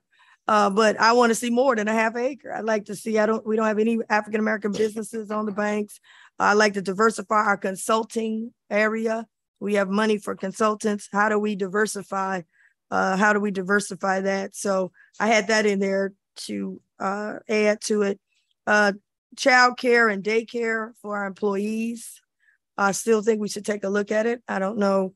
Uh, but I think if childcare is the number one barrier, and we're seeing it as people come to jobs and family services for help, then I think we could be a leader uh, in that area. So had that. And then um, also the cancer caucus. I know that might be more from a policy standpoint. Maybe that's why it's not in here. Uh, but I will be bringing that uh, because we've been asked to do policy and uh, finance. You already know what your policy is based on where you put your money. But this cancer caucus, I think, is an opportunity for us to bring more money back from Washington uh, by us being organized. Uh, and certainly everybody can agree we're trying to fight uh, this cancer. And then lastly, I had in here with the Convention and Visitors Bureau, I think they got about $11 million, I think, uh, already in their coffers. But I would like us to look at expanding out that $2 million for just site readiness. I would like us, I believe that we're missing a lot of money. Now, we might get one tournament here or there. I'm talking about every single week. There is an amateur uh, sports tournament, event, cheerleading, camp, competition, and we're missing out because we're not organized or focused on sports tourism. We spend a lot of money on these uh, professional sport facilities. We got one over there, it sits after the NFL season, it just sits. We got another one over here that didn't make it to the playoffs and they cost a lot of money. But I believe that we need to focus on a sports, on sports tourism, amateur sports tourism, which has an impact of $91.8 billion. And I'm not willing to give that to a different county. So wanted to see if we could put the a team of people together to take a look at that um, and look at how do we retain retain them here in the state, national, and regional. And I think with a partnership of CVB, Convention Visitors Bureau, REDI Cincinnati, the port, and others to look at what we can do as it relates to youth sports tour. I'm not talking about one tournament at a time. We can't do it with the convention center because if you're booking a convention, which books a couple years out, you can't come every year because I might have a convention book the one year you want to come. I need something with these little minivans running and these mom and dads and grandmas and pawpaws coming with their kids to have these sports facilities. And it could be something that can be on the outskirts in the uh, different parts of Hamilton County. So I would like to have that looked at because we're missing out on this 91 point. Uh, $91.8 billion that is available. Now, this is not a recreation center. We have those in the cities, and that's good. But we're talking about a facility that can host multi sports, uh, pickleball t- tournaments to volleyball, basketball, soccer, swimming, something like that, that will give us room nights. Hotels want to build because they can get room nights and something that, like I said, get these little minivans moving and leaving the money back here in Hamilton County. So I, I had that in there to have us take a look at and try to come up with a plan.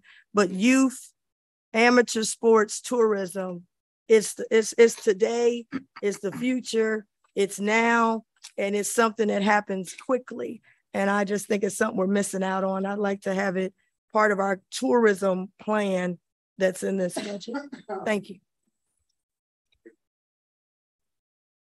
Very quick. Uh, uh, ju- just wanted to say, from- to wrap up from a policy perspective, um, recognizing that there are things in each commissioner's, uh, policy agendas that some of it made it in, as you all said, some of it did not.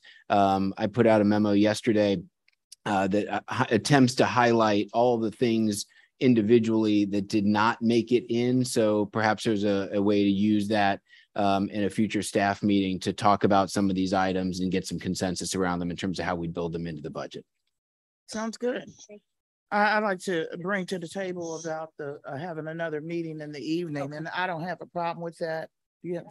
And so as I look at our schedule, um, because we want a tentative board approval by December the fifteenth. We, our last public hearing uh, would have been December sixth. On a Tuesday, we can make it a Thursday, December the eighth. Um.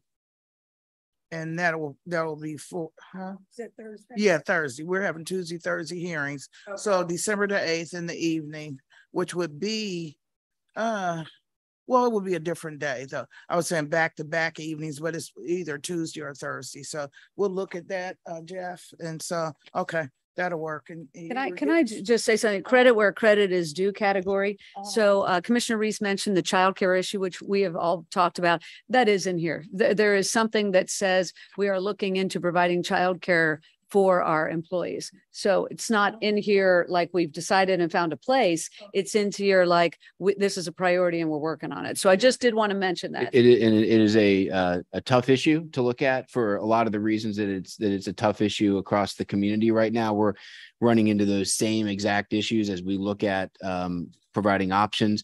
Uh, but I want to, I want to thank, um, uh, Frank Spataro, Kim Pennicamp down in, uh, up in HR who are actively working on this. Uh, I hope to have some options for the board to consider early, uh, in two thousand twenty-three on the matter though. Right, which reminds me, I was, and I forgot to mention this, but on Friday, I was at the FCFC, uh, Family Children's First meeting and um, Mark Lawson, who's the CEO of Head Start over there at CAA was saying they are so low on staff uh, for their classrooms and he's just really really concerned about it and they can't get anybody. People are not staying. Some people want to just stay home, have chosen different careers. But when you're talking about childcare, it's a it's a difficult thing to to manage and get together. So mm-hmm. okay. So we're going to move forward. Thank you for this initial. I appreciate it. It was very comprehensive and very, very good. A lot of meat to chew on. Okay. So we'll move to our regular agenda.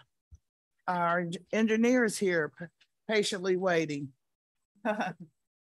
Good afternoon. Good afternoon. Would you like me to take by leave item number one Okay, if you'd like. first? yeah. That is a, that is an engineer's one as well. Um, by leave number one is a uh, report back to the commissioners. Uh, the board asked us to review the vacation request for Franklin Alley and Charles Alley in Symmes Township.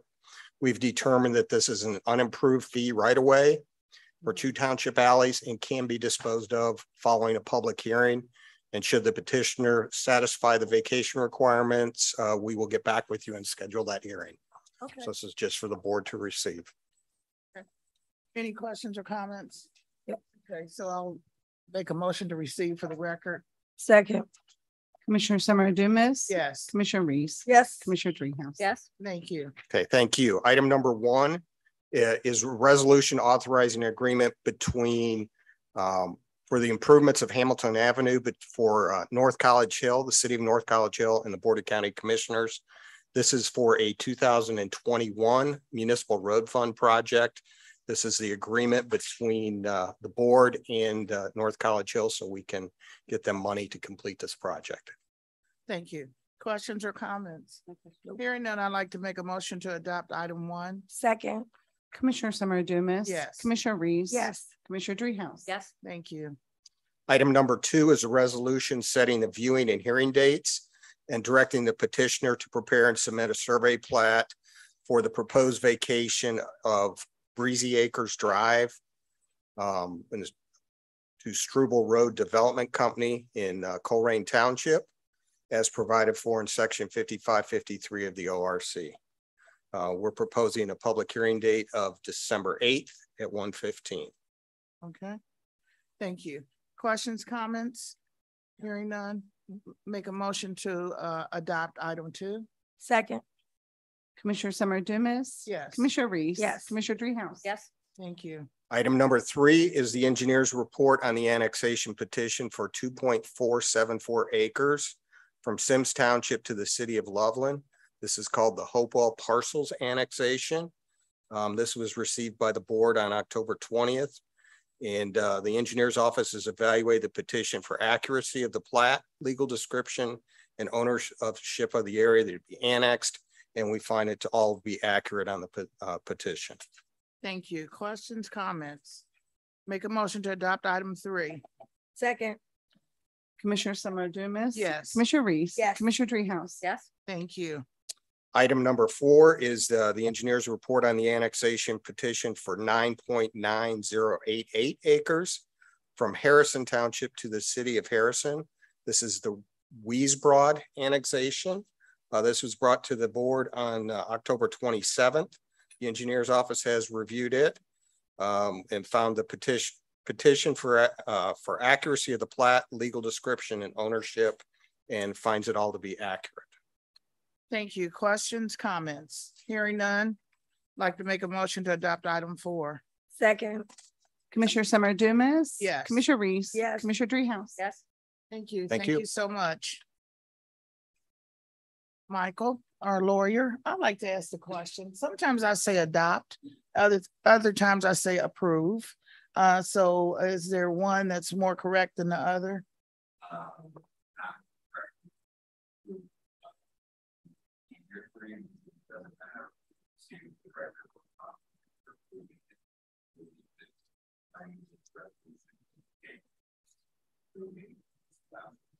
Okay.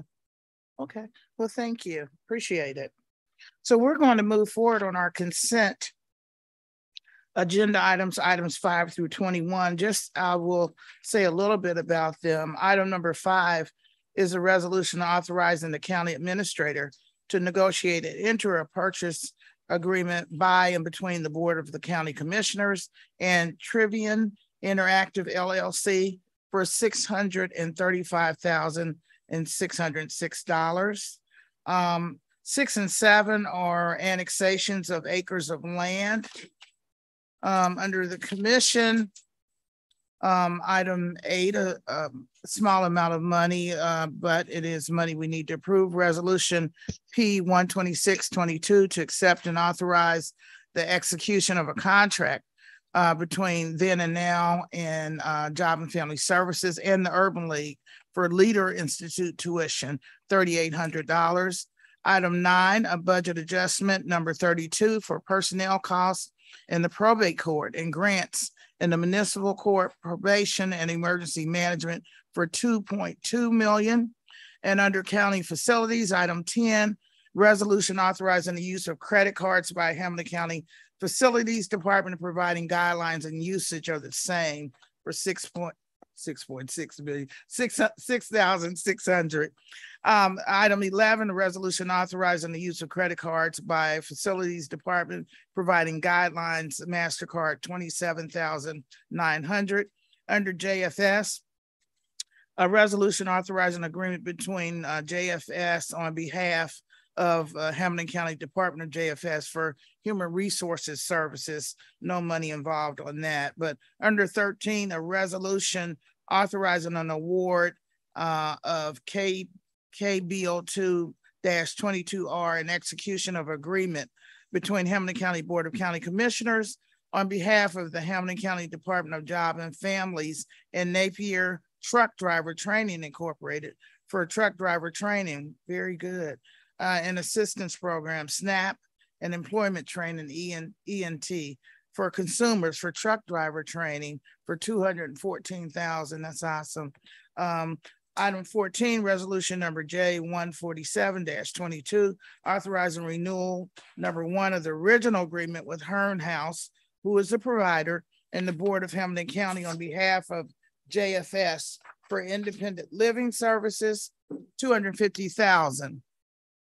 Under planning and development, a resolution authorizing the county administrator to enter to agreement with the Boys and Girls Club of Greater Cincinnati, fifty thousand. Uh, resolution sixteen, authorizing administrator into an agreement with Immigrant and Refugee Law Center for a hundred thousand.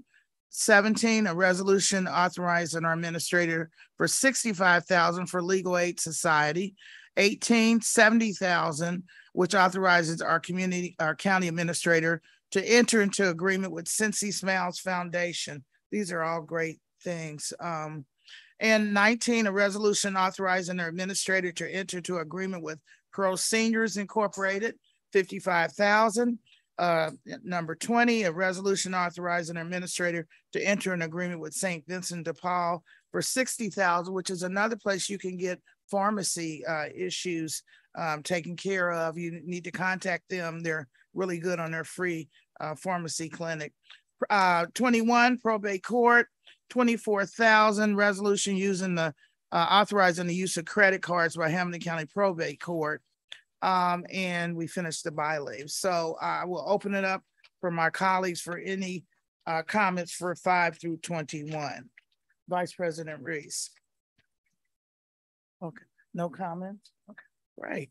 I would like to make, make a motion to approve items five through twenty-one. Second, Commissioner Summerow Dumas. Yes. Commissioner Reece. yes. Commissioner Driehaus. Yes. Thank you so much. With no further business to come before this board, I make a motion to adjourn. Second, Commissioner Summerow Dumas. Yes, Commissioner Reece. yes. Commissioner Driehaus. Yes. thank you.